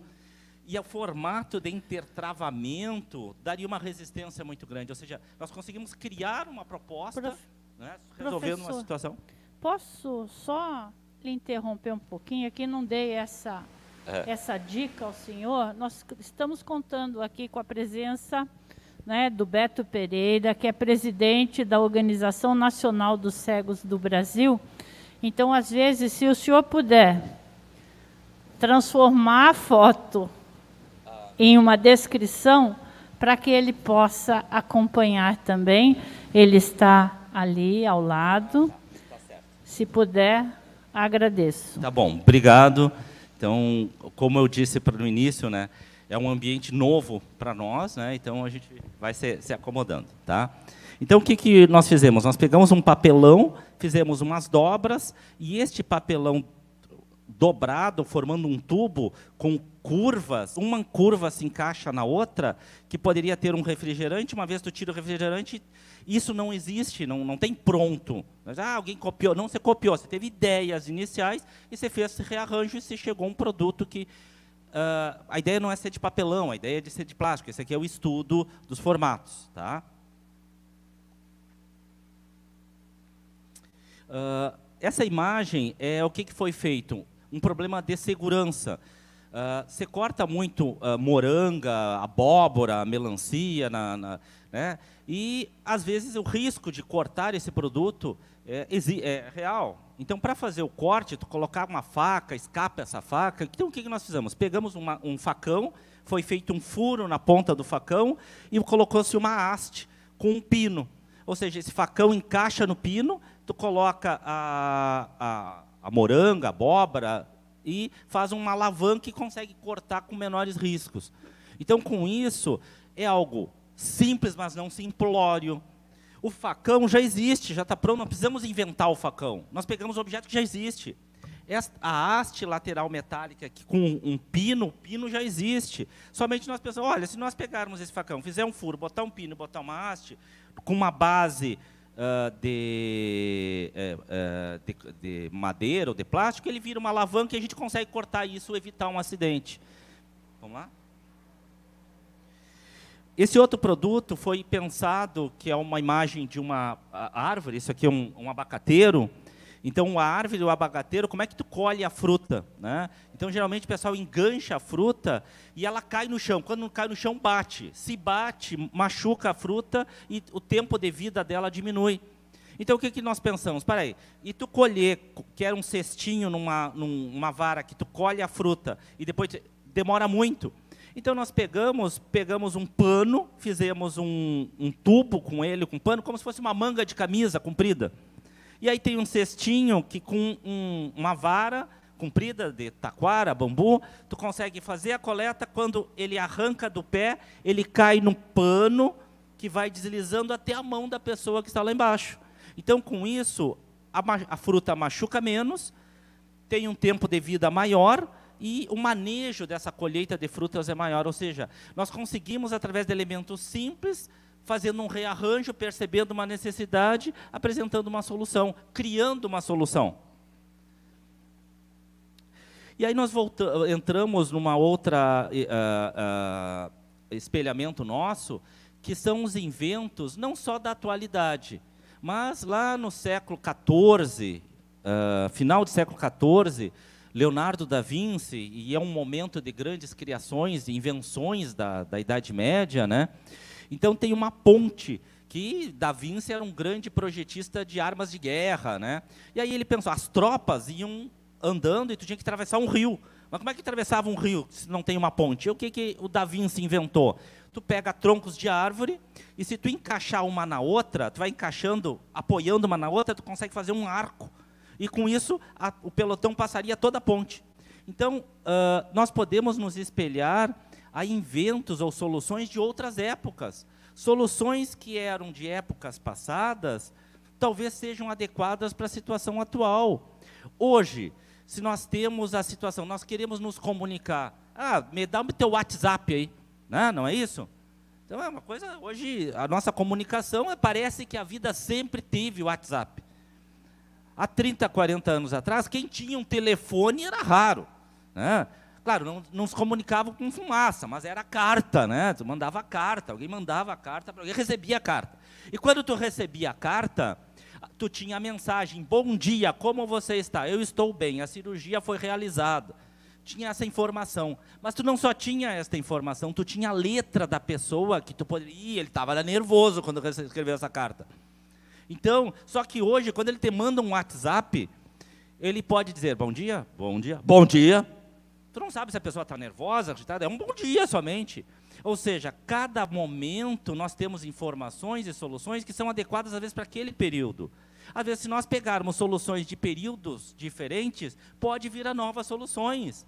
E aí nós temos dificuldades pessoais que, às vezes, nós temos pessoas com certas dificuldades que talvez seja especial para ela, mas é uma ótima solução para todos. Né? Vamos lá. Então, é uma imagem de um troncos de árvore, e nós construímos em madeira atualmente, isso é uma representação. Né? Então, no laboratório, uma das coisas é reproduzir esses, esses experimentos como forma pedagógica. Uh, na imagem, vocês vão ver dois pedaços de concreto ali. É, um, é, um, é uma barra de um, uma estrutura de concreto, um, vamos dizer, um tubo, não é um tubo, é um, é um poste, tá? vamos dizer assim. E o outro poste tem umas nervuras, né? tem uns detalhes. Tá, mas o que, que é isso aí? Uh, essa estrutura aqui, ela é usada como estaca para construção de prédios, casas. Tu enterra no chão e tu constrói a casa em cima dessa estaca.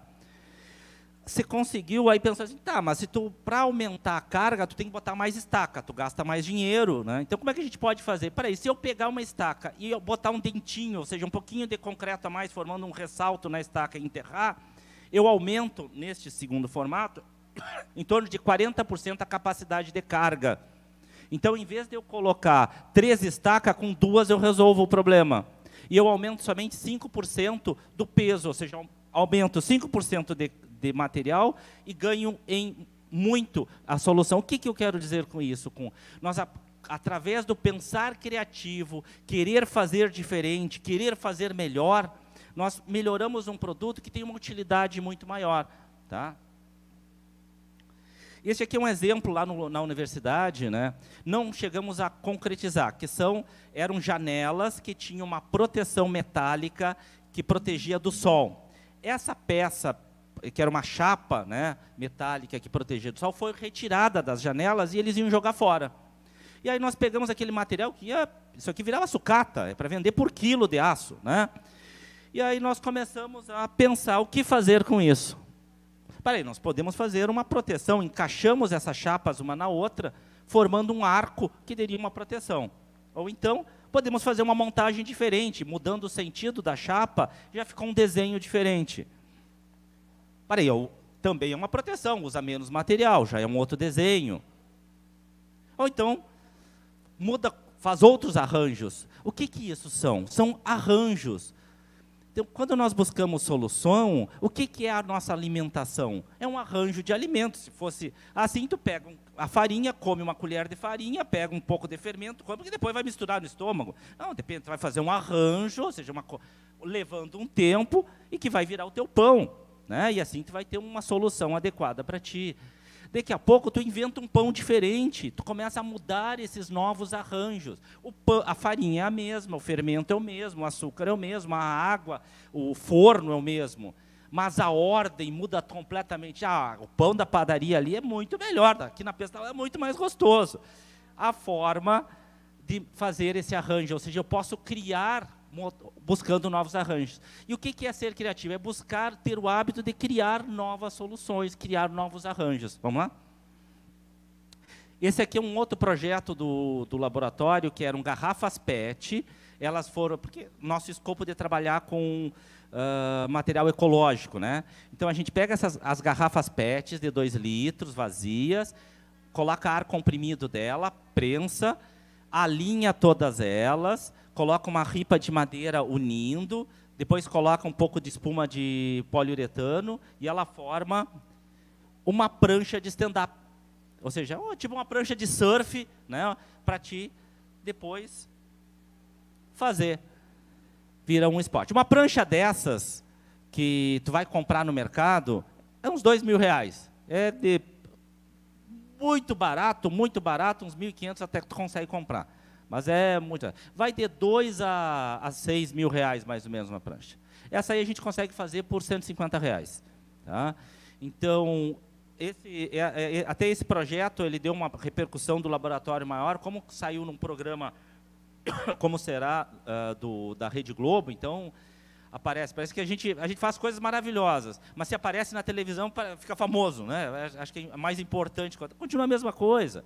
Então, essa foi uma solução que a gente conseguiu implementar e resolver. Aqui é uma cadeira chamada uh, cadeira Macintosh. Né? Esse modelo, olhem só, né? Uh, nós estamos lá no século XIX, foi feito, que é um, é um assento com um encosto estreito e alto. Então, esse modelo, esse desenho de cadeira, uh, ficou representado como um ícone de cadeira. Né? Nós pegamos este modelo de referência, ah, nós temos que fazer a cadeira. E aí, o que, que nós tínhamos? Olhem só, um gaveteiro, era uma, era, um, era uma mesa que tinha um gaveteiro. A mesa foi desmanchada, ah, esse gaveteiro eu não vou botar fora, não. Bota aí do lado. Eu tinha um retalho de madeira, que é a traseira, me dá aqui, não, vamos ver se eu uso. O encosto é uma espuma também, que era um material de, uma, de, um, de um, produto industrial que veio e estava indo para o resíduo. E pegamos uma, um assento de cadeira que também estragou, já estava. E montamos e fizemos uma cadeira es, se espelhando no modelo Macintosh. Ou seja, eu faço o que se chama na arte de releitura. Né? Eu uso mesmo o pensar dele, o arranjo que ele fez, usando outros materiais. No caso da pintura, outras cores, outros objetos, outros elementos. Então, o processo criativo tem um, uma técnica de, de projeto de industrial, de desenvolvimento de novas tecnologias, que é o seguinte: nós pegamos soluções em ambientes fora ao que nós temos e adaptamos. Ou seja, na biônica, Uh, caixas de ovos é como se fosse vagens. O velcro é o carrapicho. Então, nós pegamos exemplos que existem e aplicamos. Começamos a criar através de observação de outros ambientes.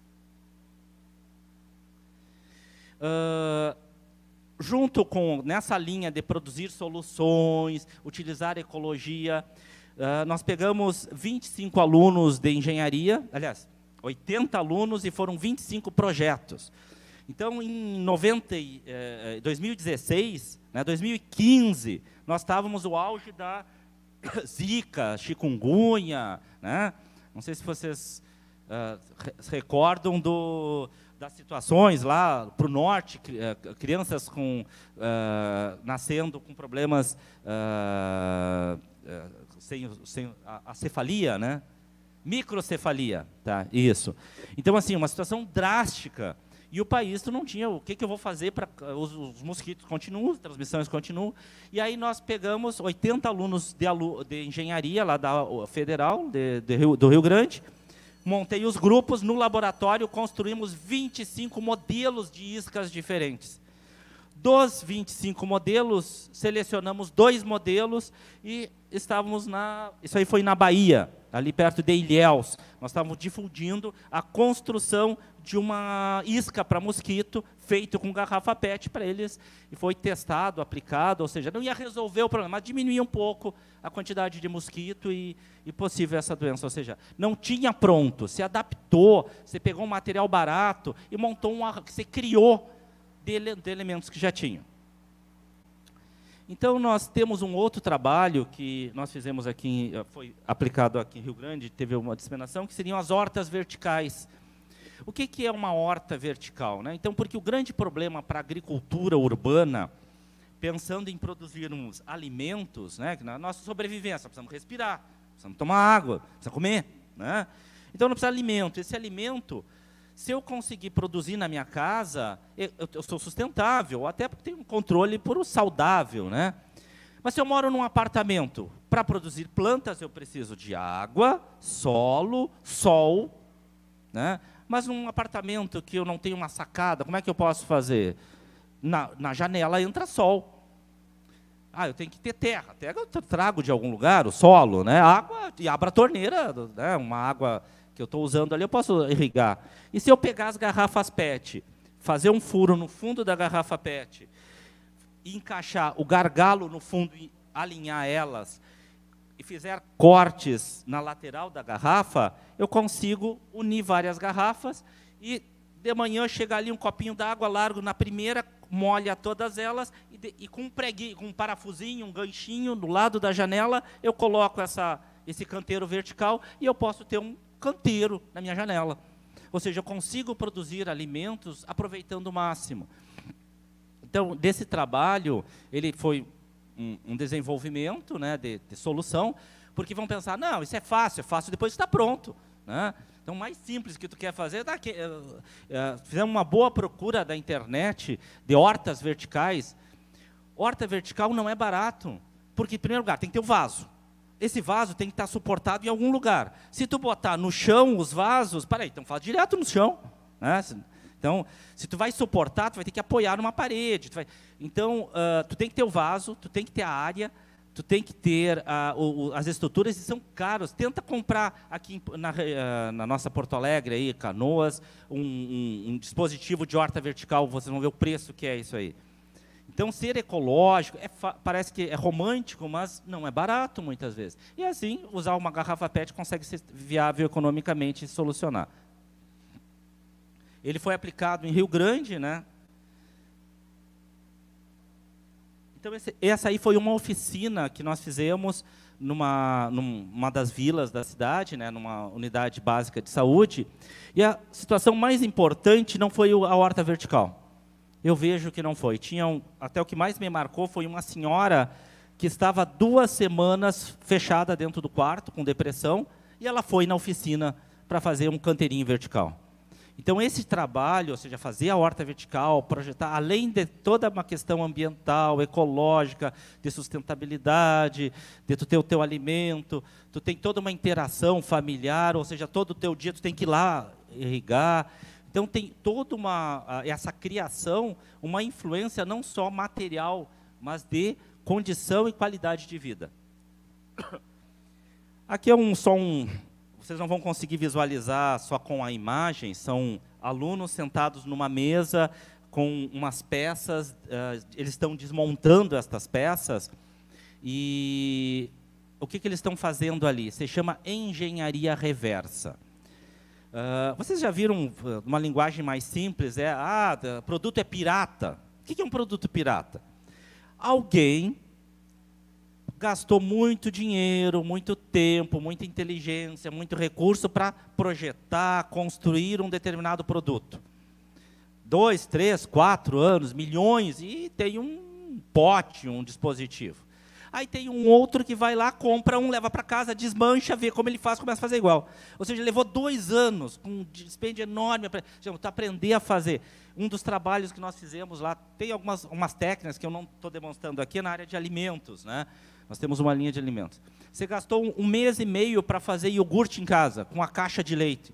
Você testou, você avaliou, né? Então levou um mês e meio e depois tu a técnica ficou bem simples. Parecia que quase isso, ridículo. Não, mas a gente levou um mês e meio errando, acertando, até chegar na forma mais simples. Então, uh, essa forma de copiar, se espelhar, aprender com o que o outro já aprendeu. O que é um professor? Ele sabe alguma coisa que o aluno ajuda. Olha, ele sabe mais que eu, ele me ajuda para eu aprender também. Né? Se o meu professor souber menos que eu, e não tiver estrutura de condição de aprendizagem, como é que ele vai conseguir me ajudar a aprender? Ele tem que saber um pouquinho mais. Os que sabem mais ensinam, né? os mestres ensinam os seus discípulos. Né?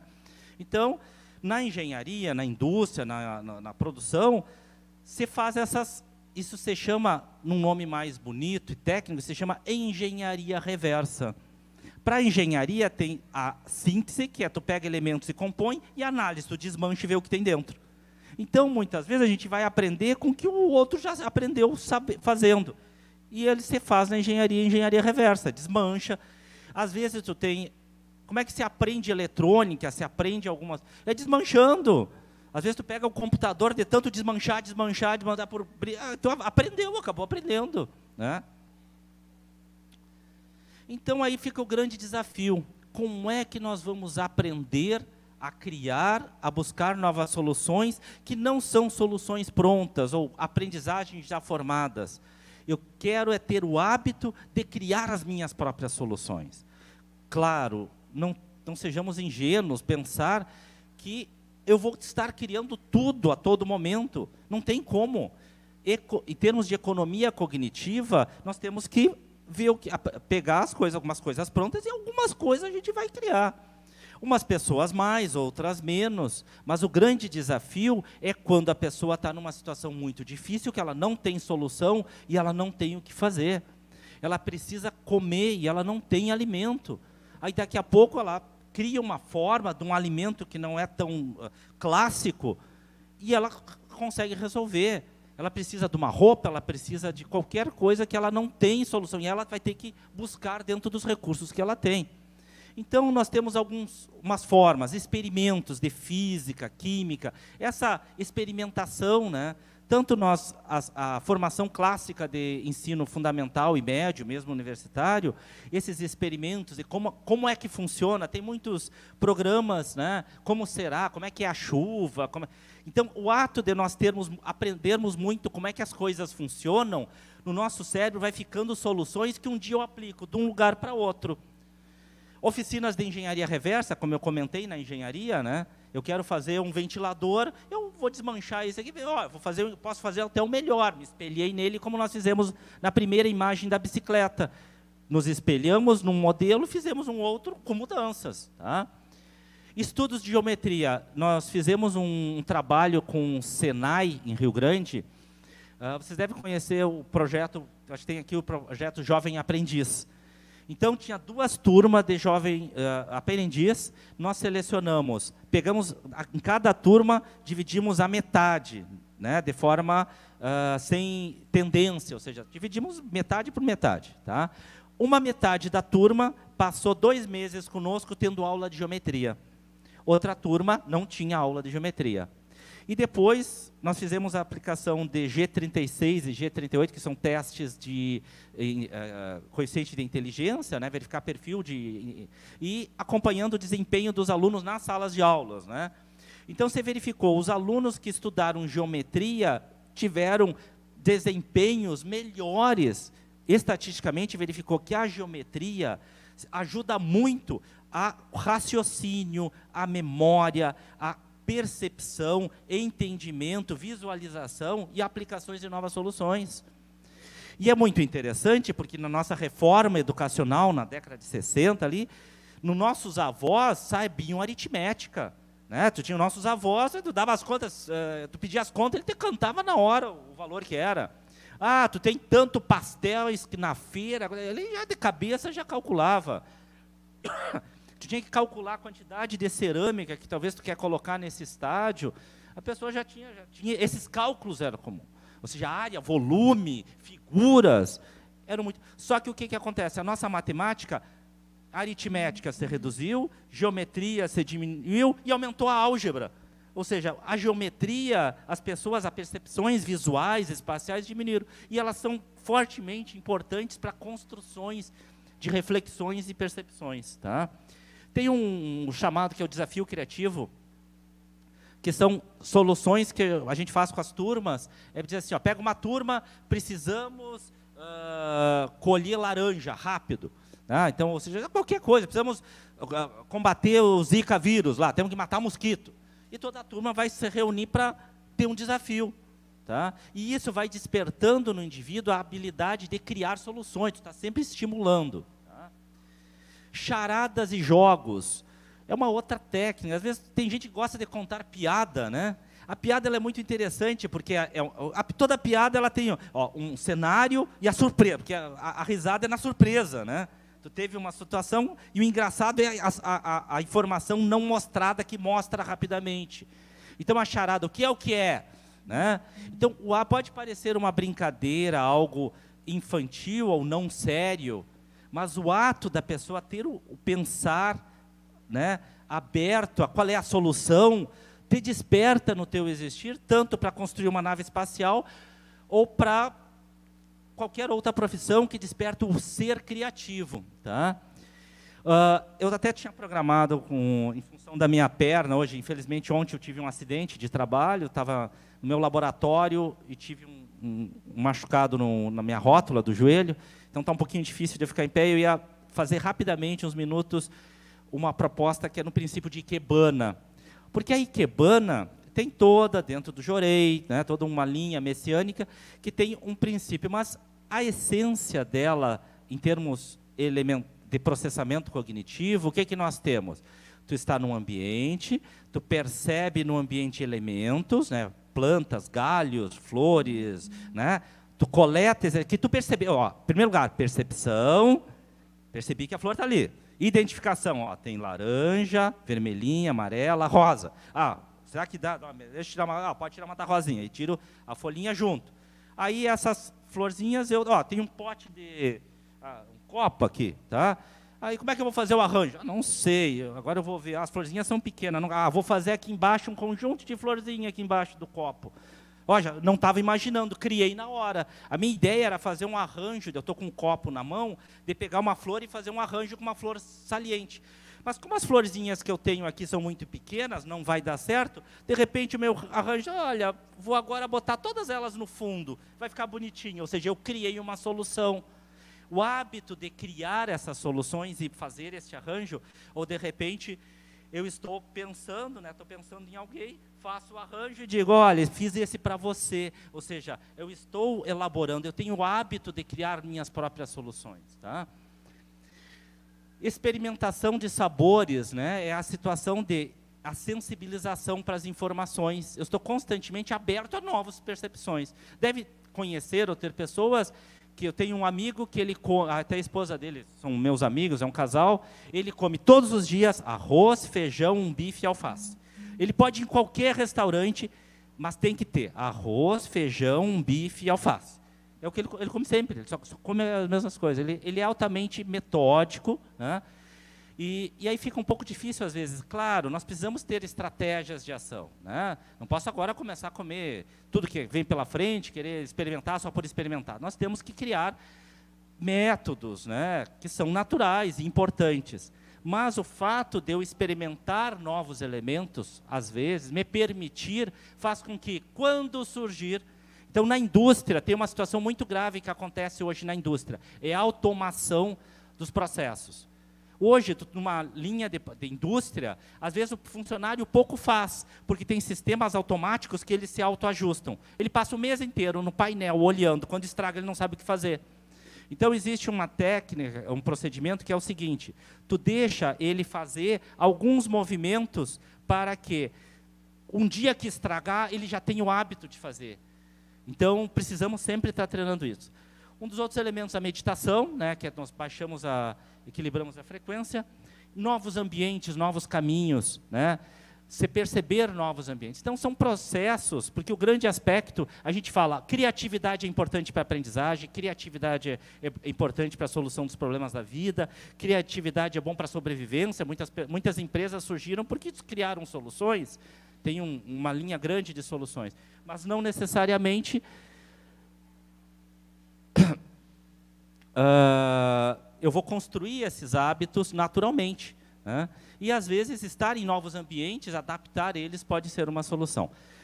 Veja, o, o laboratório lá, nós temos ó, a quantidade de ações, projetos, tem algumas coisas bastante interessantes que eu acho que poderiam ser ligados ao, ao projeto da Pestalozzi. Nos colocamos à disposição. Então, eu vejo que o, o grande desafio aqui que eu tinha era trazer um pouco de um olhar de engenharia, do papel da criatividade e a relevância disso para a solução dos problemas da vida de todos. Né? E as dificuldades, os desafios, às, vezes são, os, são a mãe, né, os principais promotores de soluções que serão importantes para todos. Tá? Era isso. Bom, Obrigada. Eu sei que já tem perguntas aí, né? Nós vamos abrir para perguntas. Eu sei que o Beto quer fazer perguntas. Muito interessante, professor, a sua é, vinda, a sua fala e essa parceria, né? Já está já está feita, já está gravado aí, né? Olha lá. Já está gravado, então agora não tem, escapa, não tem escapatória. Vamos avançar nisso. É, lá de camisa azul. Aí, prego. Deixa eu ficar em pé. Boa tarde, bom dia, boa tarde a todos e todas. Boa tarde, professor. Boa tarde. Bom, primeiramente queria cumprimentá-lo pela fala. Aqui? Isso. É muito importante, de fato, a gente pensar nas tecnologias, nos recursos e em cada inovação, considerando as especificidades humanas, as pessoas com deficiência. Eu tenho participado de alguns projetos da Airpool, que fabrica eletrodomésticos para Consul e Brastemp aqui no Brasil para tornar os produtos mais acessíveis para pessoas com deficiência visual, cegas como eu, né, e também com baixa visão e outras deficiências. Também agora fizemos uma, fiz uma parceria com a Intelbras para a questão de fechaduras eletrônicas, acessibilidade, eh, acesso e segurança. Né? E acabamos de, de certificar na nossa organização nacional de cegos uma máquina de cartão de crédito acessível, porque as máquinas cada vez mais têm vindo com a tecnologia touchscreen, que não permitem que nós, pessoas cegas, digitemos os nossos códigos, as nossas senhas. Então, nós criamos recursos, certificamos, para tornar as máquinas mais acessíveis. E aí eu não posso dar muito detalhes, é, professor, mesmo porque envolve uma questão judicial, mas me chamou muita atenção quando o senhor colocou, né? sobre as invenções e aquilo que já existe. É, muitas vezes nós temos a impressão que estamos criando, que somos o dono da ideia, mas a natureza já deu aquela ideia, como o senhor colocou. O produto já existe, a gente aglutina né, um, dois ou três produtos para gerar um produto específico. E aí a gente muitas vezes entra nessa barreira, se a gente não tomar um cuidado, de patentes, né? até onde a gente pode ir, até onde a gente pode inovar ou não. Bom, o que eu, que eu queria trazer aqui com isso tudo? Primeiro, uma pergunta. Como que o senhor acha que nós podemos é, aproveitar tecnologias que já existem, recursos que já existem, adaptá-los sem ferir a questão de patente, né, da, da ideia, a questão de marca. A segunda, do, é, professor, é uma provocação. É preciso que os alunos das universidades conheçam as pessoas com deficiência. Isso já desde o ensino fundamental, médio, enfim, mas é principalmente da engenharia, da arquitetura, enfim, do ensino superior. Essas pessoas que criam produtos, que pensam nas inovações, precisam conhecer que existem pessoas com deficiência intelectual, pessoas físicas, com deficiência física, auditiva, é, com surdez e com outras deficiências. E esse conhecer é preciso que não seja só pelos livros. É importante que esses alunos, que esses docentes frequentem as entidades, professor. Como seria ótimo se tivéssemos vários, dezenas e muitos alunos aqui hoje com a gente, sabendo que as pessoas com deficiência e com diversas deficiências propõem, questionam, perguntam, trabalham, produzem, compram, podem pensar, inclusive podem ajudar a criar acessibilidade. E terminando a minha fala, o meu desafio é para que através dessa experiência do Senhor hoje, que o Senhor possa levar né, lá para Santa Maria, para a universidade, uma proposta de parceria com a fé na pestalose, e com as demais entidades que atuam na garantia, defesa de direitos e que proporcionam a inclusão e acessibilidade da pessoa com deficiência. porque eu penso que está na mão de vocês também a responsabilidade de construir com, conosco, pessoas com deficiência, um mundo mais justo, né? mais inclusivo, mais acessível. E pela fala do Senhor aqui ficou muito claro que o Senhor tem toda essa disposição. Esperamos que a gente possa sair daqui, que o Senhor saia daqui, que a Pestalozzi saia com o Senhor, é, com uma ideia concreta, com algo direcionado para trazermos soluções. Porque sim, se os produtos forem criados desde o começo, desde a concepção, desde o, pensados, né, já com aquele viés que a gente chama do desenho universal, um produto feito para todos, a gente consegue evoluir muito quando a gente pensa em inclusão e acessibilidade. Desculpa por ter me estendido, professor Edna.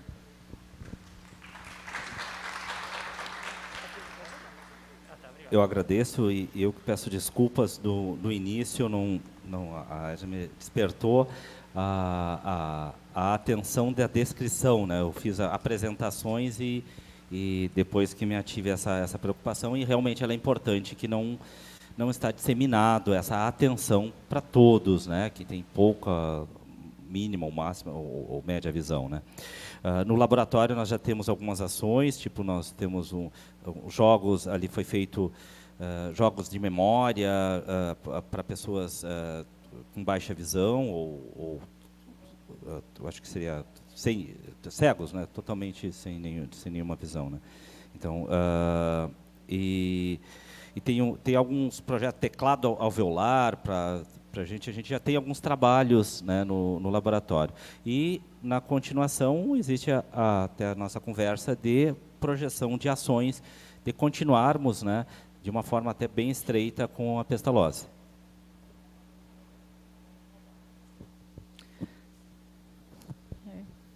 Jair agora quer fazer uma pergunta. Boa tarde a todos e todas. Jair Silveira. Parabenizar o professor Lauro pelo trabalho de vocês e por essa iniciativa de criar. Mas não criar criando assim só no laboratório, criar criando com quem precisa resolver seus problemas mais simples do dia a dia. Também parabenizar para a Alexandra, né, uma amiga nossa. Amanhã está muito rica, viu? Muito bom. Assim, professor, eu sou um tetraplégico, tá?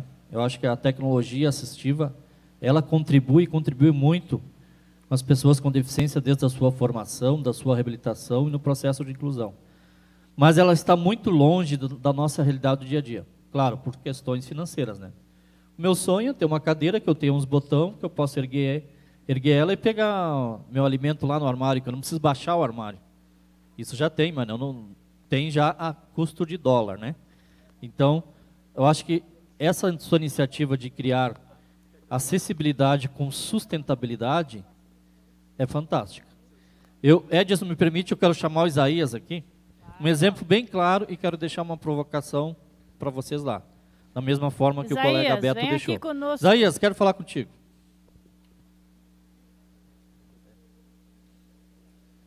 Tudo bom, Isaías?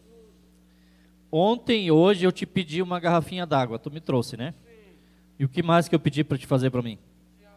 Tirar foto para ele. O que mais? Antes de, antes de tu me entregar a garrafinha. Ah, falou comigo.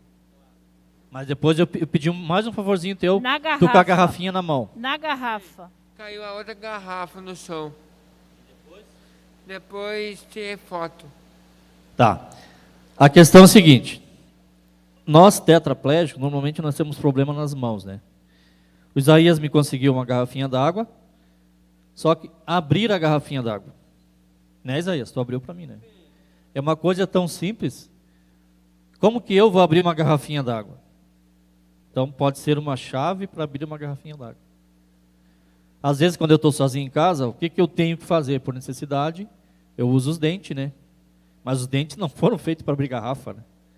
Então são coisas simples do dia a dia que faz toda a diferença. Uma vez uma colega minha perguntou, oh, tu não vai amarrar o tênis para isso aí? Mas é uma coisa que eu não preciso amarrar o tênis. Agora tomar água eu tenho que tomar. Então eu quero deixar essa provocação aí. Mais uma vez parabenizar pelo trabalho de vocês. E vamos tentar trazer quanto mais essa tecnologia para o dia a dia das pessoas com deficiência. Obrigado, professor. Obrigado. Obrigado. Eu gostaria só complementar essa questão importante, porque, como eu disse no início, a engenharia muita muitas vezes é feita para os ricos e não para as necessidades reais. Na tampa da garrafinha d'água, não sei se vocês já observaram, para quem é, tem mais anos, anos atrás ela uma borra, tinha uma borrachinha. Então era a tampinha e tinha uma borrachinha no fundo, né? Hoje não tem mais aquela borrachinha. Na realidade, o que, que tecno, você estudou, você verificou que há uma solução melhor você fez no interior da garrafa do que tirar, vocês vão ver na, dentro tem um pedacinho de plástico que é um, tipo é um conezinho que quando tu aperta a garrafa, aquele conezinho de plástico entala na, no gargalo e trava e aí veda. Não precisa mais daquela borrachinha. Mas é, não, mas eu, eu quero dizer assim, ó, essa solução foi feita por economia, né? Então saiu mais barato para a fábrica. Né? Não foi necessariamente para atender, é uma questão de mercado. Quantas pessoas que precisam da garrafa? E interessante economicamente fazer, às vezes eles visualizam que não seja e as soluções não são criadas. E o compromisso do nosso laboratório ali, a, a grande meta que eu coloquei é justamente essa. Essa é uma demanda, que esse tipo de demanda é, é o escopo do nosso trabalho. Mais alguma pergunta? Quem se habilita a fazer alguma pergunta? Na verdade, a gente também tem que pensar não só na pessoa com deficiência, mas os idosos, né? E isso que o Jair passa, estava comentando, a minha sogra também passa. Então a gente tem que comprar garrafinha com aquele caninho e distribuir suco nas garrafinhas para ela tomar aquela de caninho, porque ela não, ela tem osteoporose, teve reumatismo, ela não tem força de abrir. E ela mora sozinha. Então a gente teve que adaptar materiais para ela poder se virar sozinha. E o nosso público cada vez está ficando mais idoso, então a gente também tem que pensar nesse público.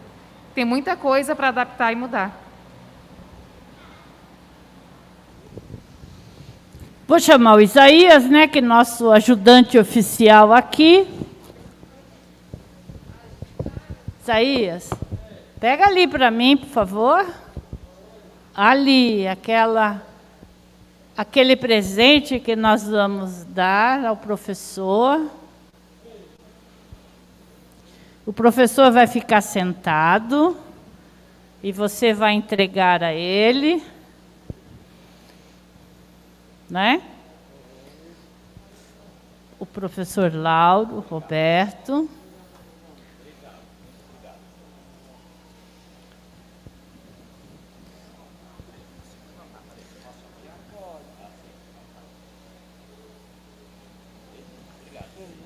Professor, aí tem um pouquinho da história do movimento de autodefensores, da federação também, né? e um mimo para que tenha no seu laboratório lá uma caneca, assim o senhor vai lembrar sempre de nós, porque nós vamos lembrar do senhor e vamos atrás. E a pergunta, ó, quando é que nós vamos lá conhecer o laboratório? Olha aí, tá vendo, professor? Já são desafios. E nós levaremos eles, não é? Não, fica o, o, o, desejo é de acolher a todos, né? Uh, a universidade em Rio Grande, nós estamos, uh, por causa da pandemia, ela não está em atividade. Mas em abril, se Deus quiser, né, vai retomar as atividades e a gente vai estar, a partir de abril, né, tanto potencializando algumas ações que tiveram que parar, infelizmente, e buscar né, nessa levantamento de demanda, busca até a gente repassar um pouco. Tem oficinas que a gente pode fazer, que a gente tem, tem possibilidade. Então tem, tem, tem muita pode ação fazer que a gente aqui pode também, né, pode, professor? Podemos sim. Tem, dá para fazer pelo Zoom também, sim, nós usamos.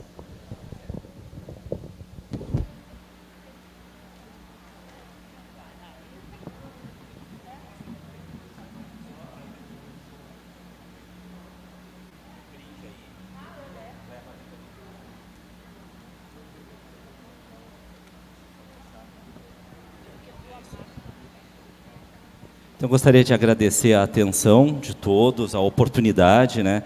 Como eu disse no início, é muito difícil a gente, às vezes, sair das nossas fronteiras, né? A gente se acostuma tanto em... Os nossos assuntos é engenharia, processo, e às vezes a busca de outros ambientes enriquece e nos complementa muito. Então, muito obrigado pela presença, prestígio de, da atenção e um bom dia, fiquem com Deus, tá bom?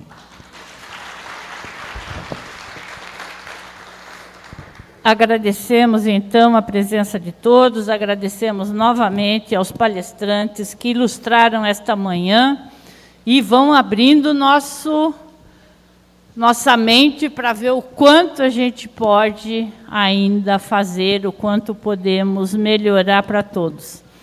Agradeço a quem está acompanhando pela, pelos canais virtuais da Associação Pestalozzi e convido todos a voltarem para a tarde, que teremos no, novas atividades.